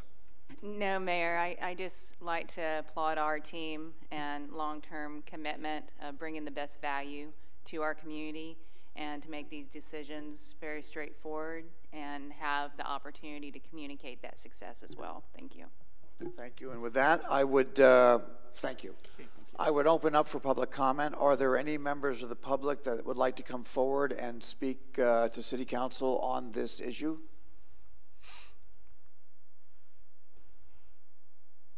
Seeing none, I will close public comment at this time. I will come back to the dais. Any Motion last? to approve it. I have a motion to approve. I'll second it. I have a second. Uh, any additional discussion at this time? Counselor, can we proceed to vote? Yes. Okay. Then I would ask for a roll call vote, please. Vice Mayor Branquinho. Yes. Councilmember Danko. Yes. Councilmember Fanelli. Yes. Councilmember Klufas. Affirmative. Mayor Alfin. Yes. Motion passes five to zero. Thank you all. We'll move on to the next item on the agenda. And thank you, staff. Um, next item is consent agenda. So I guess I will ask, uh, are there any items uh, within the consent agenda that anyone would like to pull at this time? Um, and Yeah, open up for public comment. So I'll open up for public comment at this time. Um, are there any items on the consent agenda that the public would like to uh, pull at this time?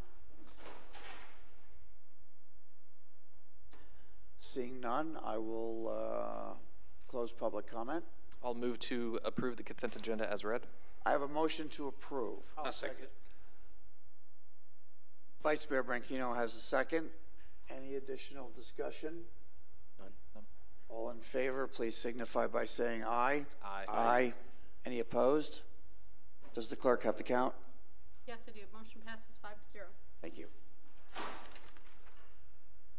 We'll now open up uh, the final public participation for this evening's meeting. Are there any members of the public that would like to come forward and speak on any item that was not previously discussed on the agenda?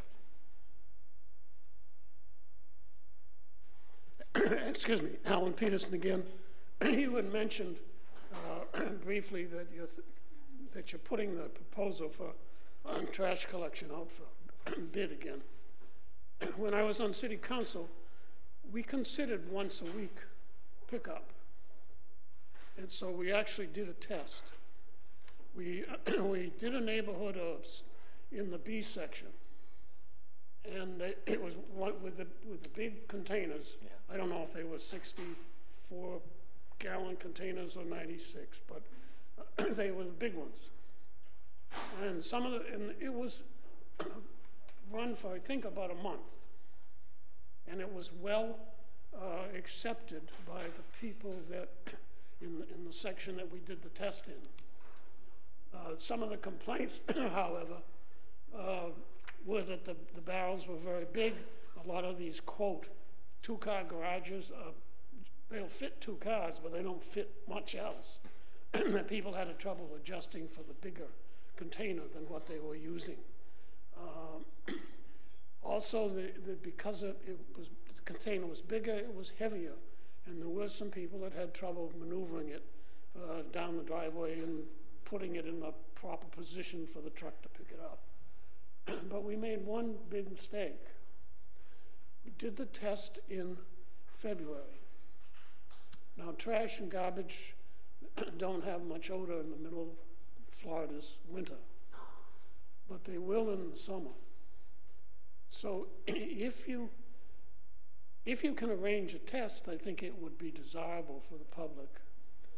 Um, but but I think you should try to do it in the summertime or when the weather is reasonably warm to see if the uh, odor or there's any other hidden problems that, that, that we didn't uh, we didn't see when, or were reported to us when we did the, when we did this test. Also, we found that we really didn't save much money. It wasn't like you cut your price substantially, uh, the price for just one that one item of trash pickup from twice a week to once, we'd save 50%. We, the, the difference was very, very small. It wasn't while money was saved, we felt it wasn't worth the, the, the savings wasn't worth the potential aggravation that we expected might, we might hear about uh, when the weather got warmer.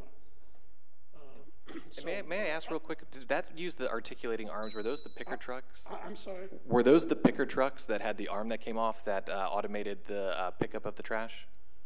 I was afraid somebody would ask me that question. I, I don't remember, Okay.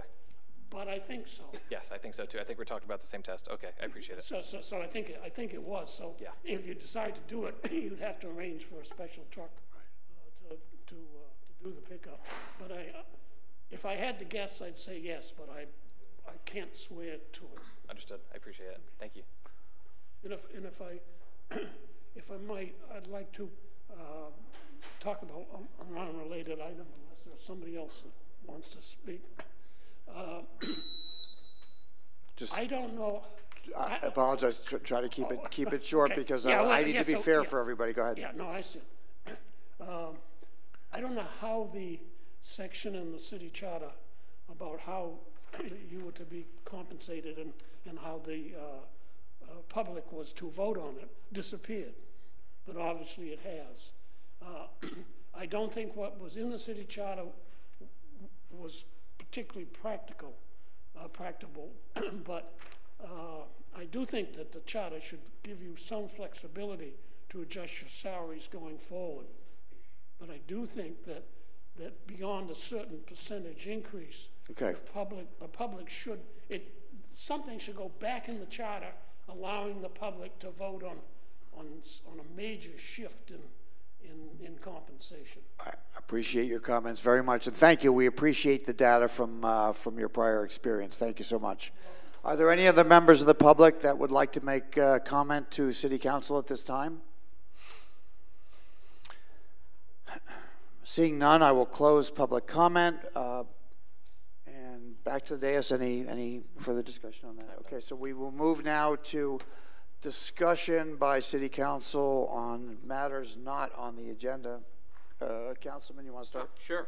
Um, I just want to personally thank our sheriff's department, our code enforcement, our animal control, and the Flagler Animal Hospital and all those great vets. As you guys know, a couple days ago, somebody took it upon themselves to shoot a dog because apparently, um, according to our Flagler detectives who do a great job, uh, the dog was going to chew up a teddy bear or something. Um, I'm a, I'm, I'm a pet owner. I'm a dog owner. Every dog I've ever owned has been a, a rescue. And, and when I say that, I mean they rescued me, not just me rescuing them. And anybody that would do something like this, and I'm not going to convict somebody here, but I'll just say anyone who would do something like this, I can't tell you what I would like to do in return. But I do appreciate the great work from our code enforcement and, and, and our sheriffs and our deputies and animal control and, and those wonderful vets. I mean, apparently this dog was shot in the face with a Glock. So I, I- believe that's a 30 caliber bullet. Um, and I guess the dog was also shot in the leg. Um, and I, I really want to praise the sheriff, uh, the deputy sheriff that has taken that dog in, um, or will take that dog in once he's out of treatment, um, and, and foster that pet until a home is found. So just want to give a great shout out to those guys. Um, that's Thank it. you for your comment. Uh, Councilman Fanelli. So just, just a few things. Um, Jericho Taylor, amazing. Isn't that amazing? Our, our young folks in the community sa- out there saving lives with, with um, some new education that he just learned. I, it just, that's, that's awesome and amazing. And I'm so glad we were able to recognize him here. Uh, I was able to make it out to the Small Business Expo, sponsored by the Chamber of Commerce. Amazing. So many thriving small businesses that are growing in our community. Uh, it, was, it was just a great day. The weather was perfect. Um, and we just have so many things to be thankful for in our community. It was amazing. Um, went out and um, got to partake in the Blue Knights Memorial Ride. Uh, again, just a very moving experience. Um, having known some local officers who have, have lost their lives in the line of duty, um, I, I was proud to be there. I was proud to bring my, my children with me to participate in that. and be able to see some of the real true superheroes in, in our community. And it, it was great. I was able to share that with my children about superheroes on TV, but they're superheroes in real life too. Um, so it was a, just a, a, great, very moving event.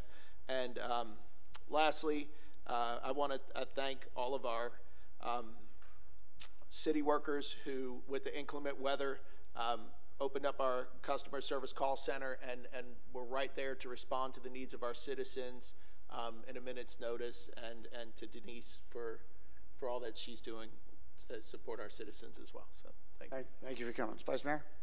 Yes, uh, uh, I just want to thank everyone that spoke tonight here that uh, came, since the kids to uh, everybody that spoke. Uh, and I want to thank two of the candidates that actually going to run for office for speaking about the salary. We had three, but only two spoke. Uh, and I want to thank them for that. Also, uh, um, Denise, uh, we running the state of uh, uh, the state of city in partnership with the Chamber of Commerce. Is that correct? Um, Vice Mayor, would you mind just um, elaborating on what your definition of partnership is? That's what I read.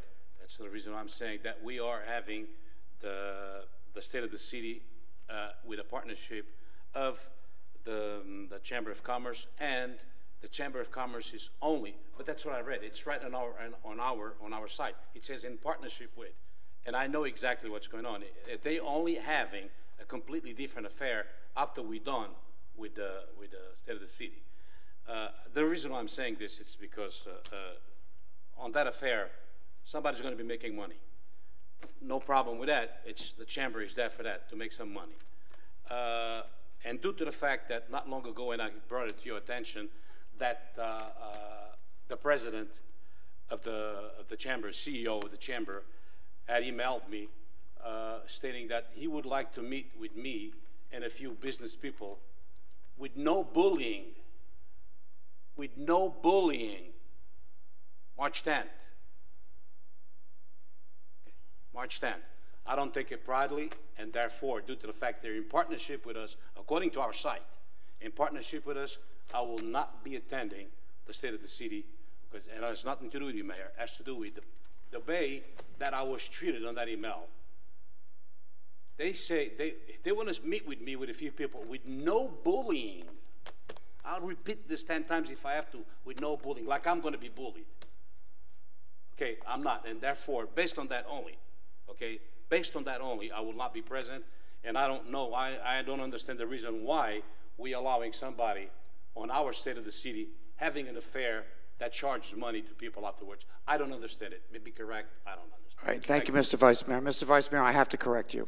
Correct. So perhaps you'll need to read the, the language more carefully in the city statement because I'm not aware of any, any reference to partnership.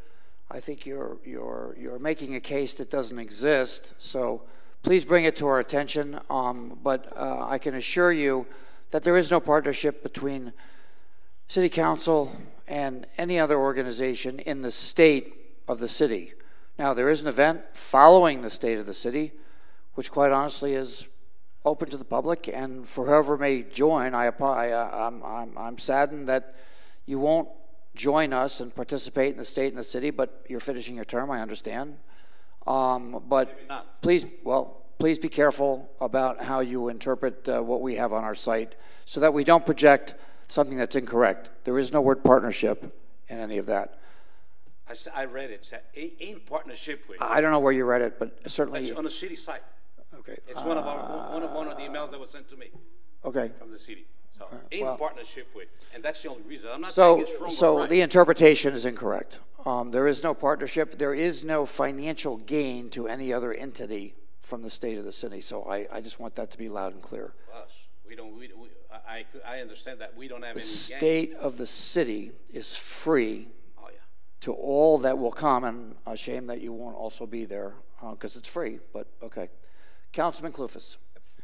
Whew. All right, so everybody kind of took my thunder, and then I got to follow that. I was going to say, uh, great job to the Palm Harbor Golf Course team aerating the greens. That place is looking phenomenal. Um, I'm continuously amazed by uh, just the level of service and the camaraderie that we're experiencing over there. Um, besides that, I would like to thank the staff and Denise for uh, being so quick uh, on the call. I had some people from Seminole Woods reach out that, uh, you know, they were reporting their swale and uh, the Citation Boulevard uh, drainage issues. Thank you to Denise and also staff who were able to quickly uh, resolve or, or kind of um, a prerequisite fix to actually solving the issue before that job is uh, 100% complete.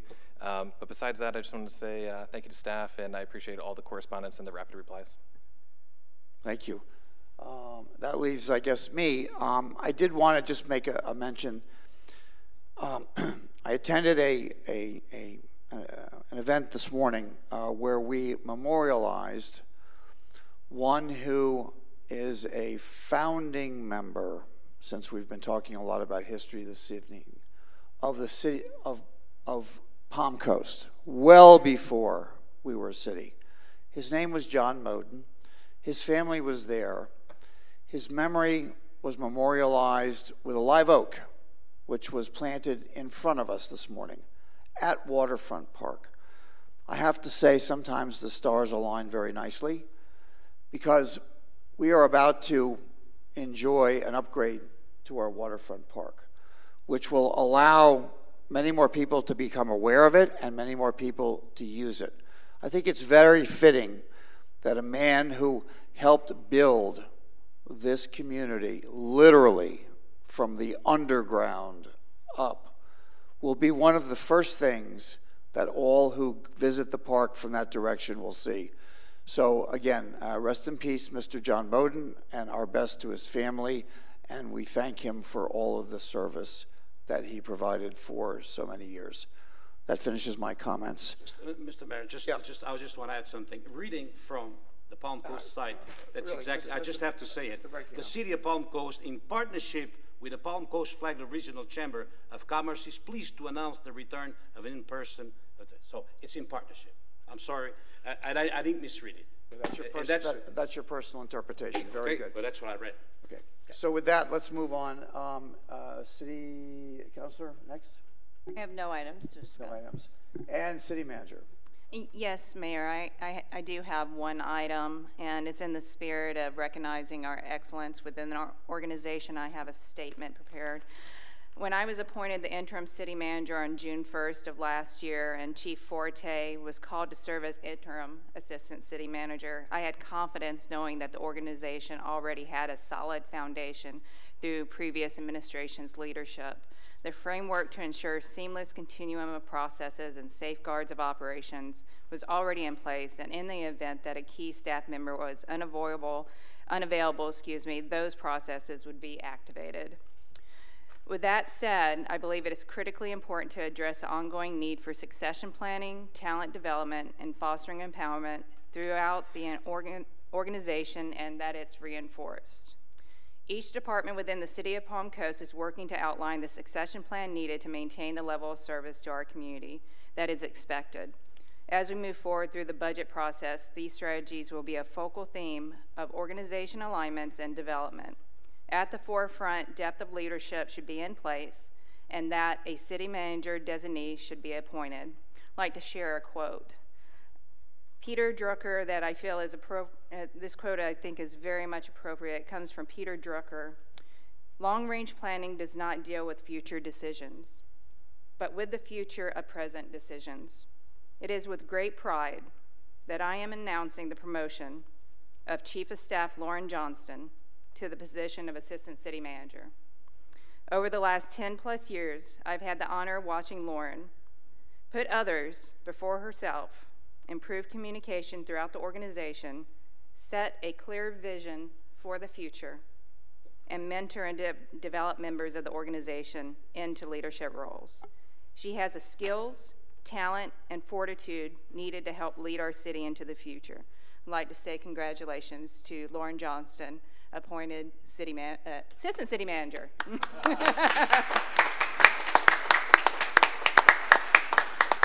Bravo, Ms. Johnson, yes.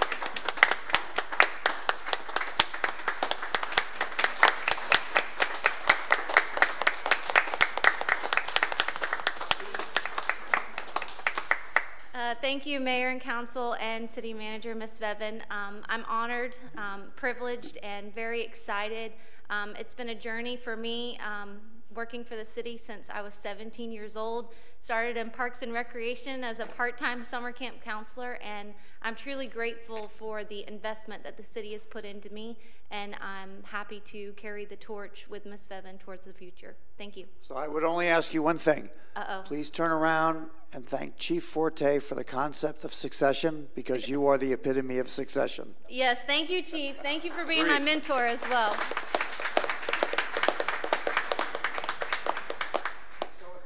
Missed anything on the agenda, I would ask for, thank you, a motion to adjourn second? Second. All in favor? Aye. Thank you all.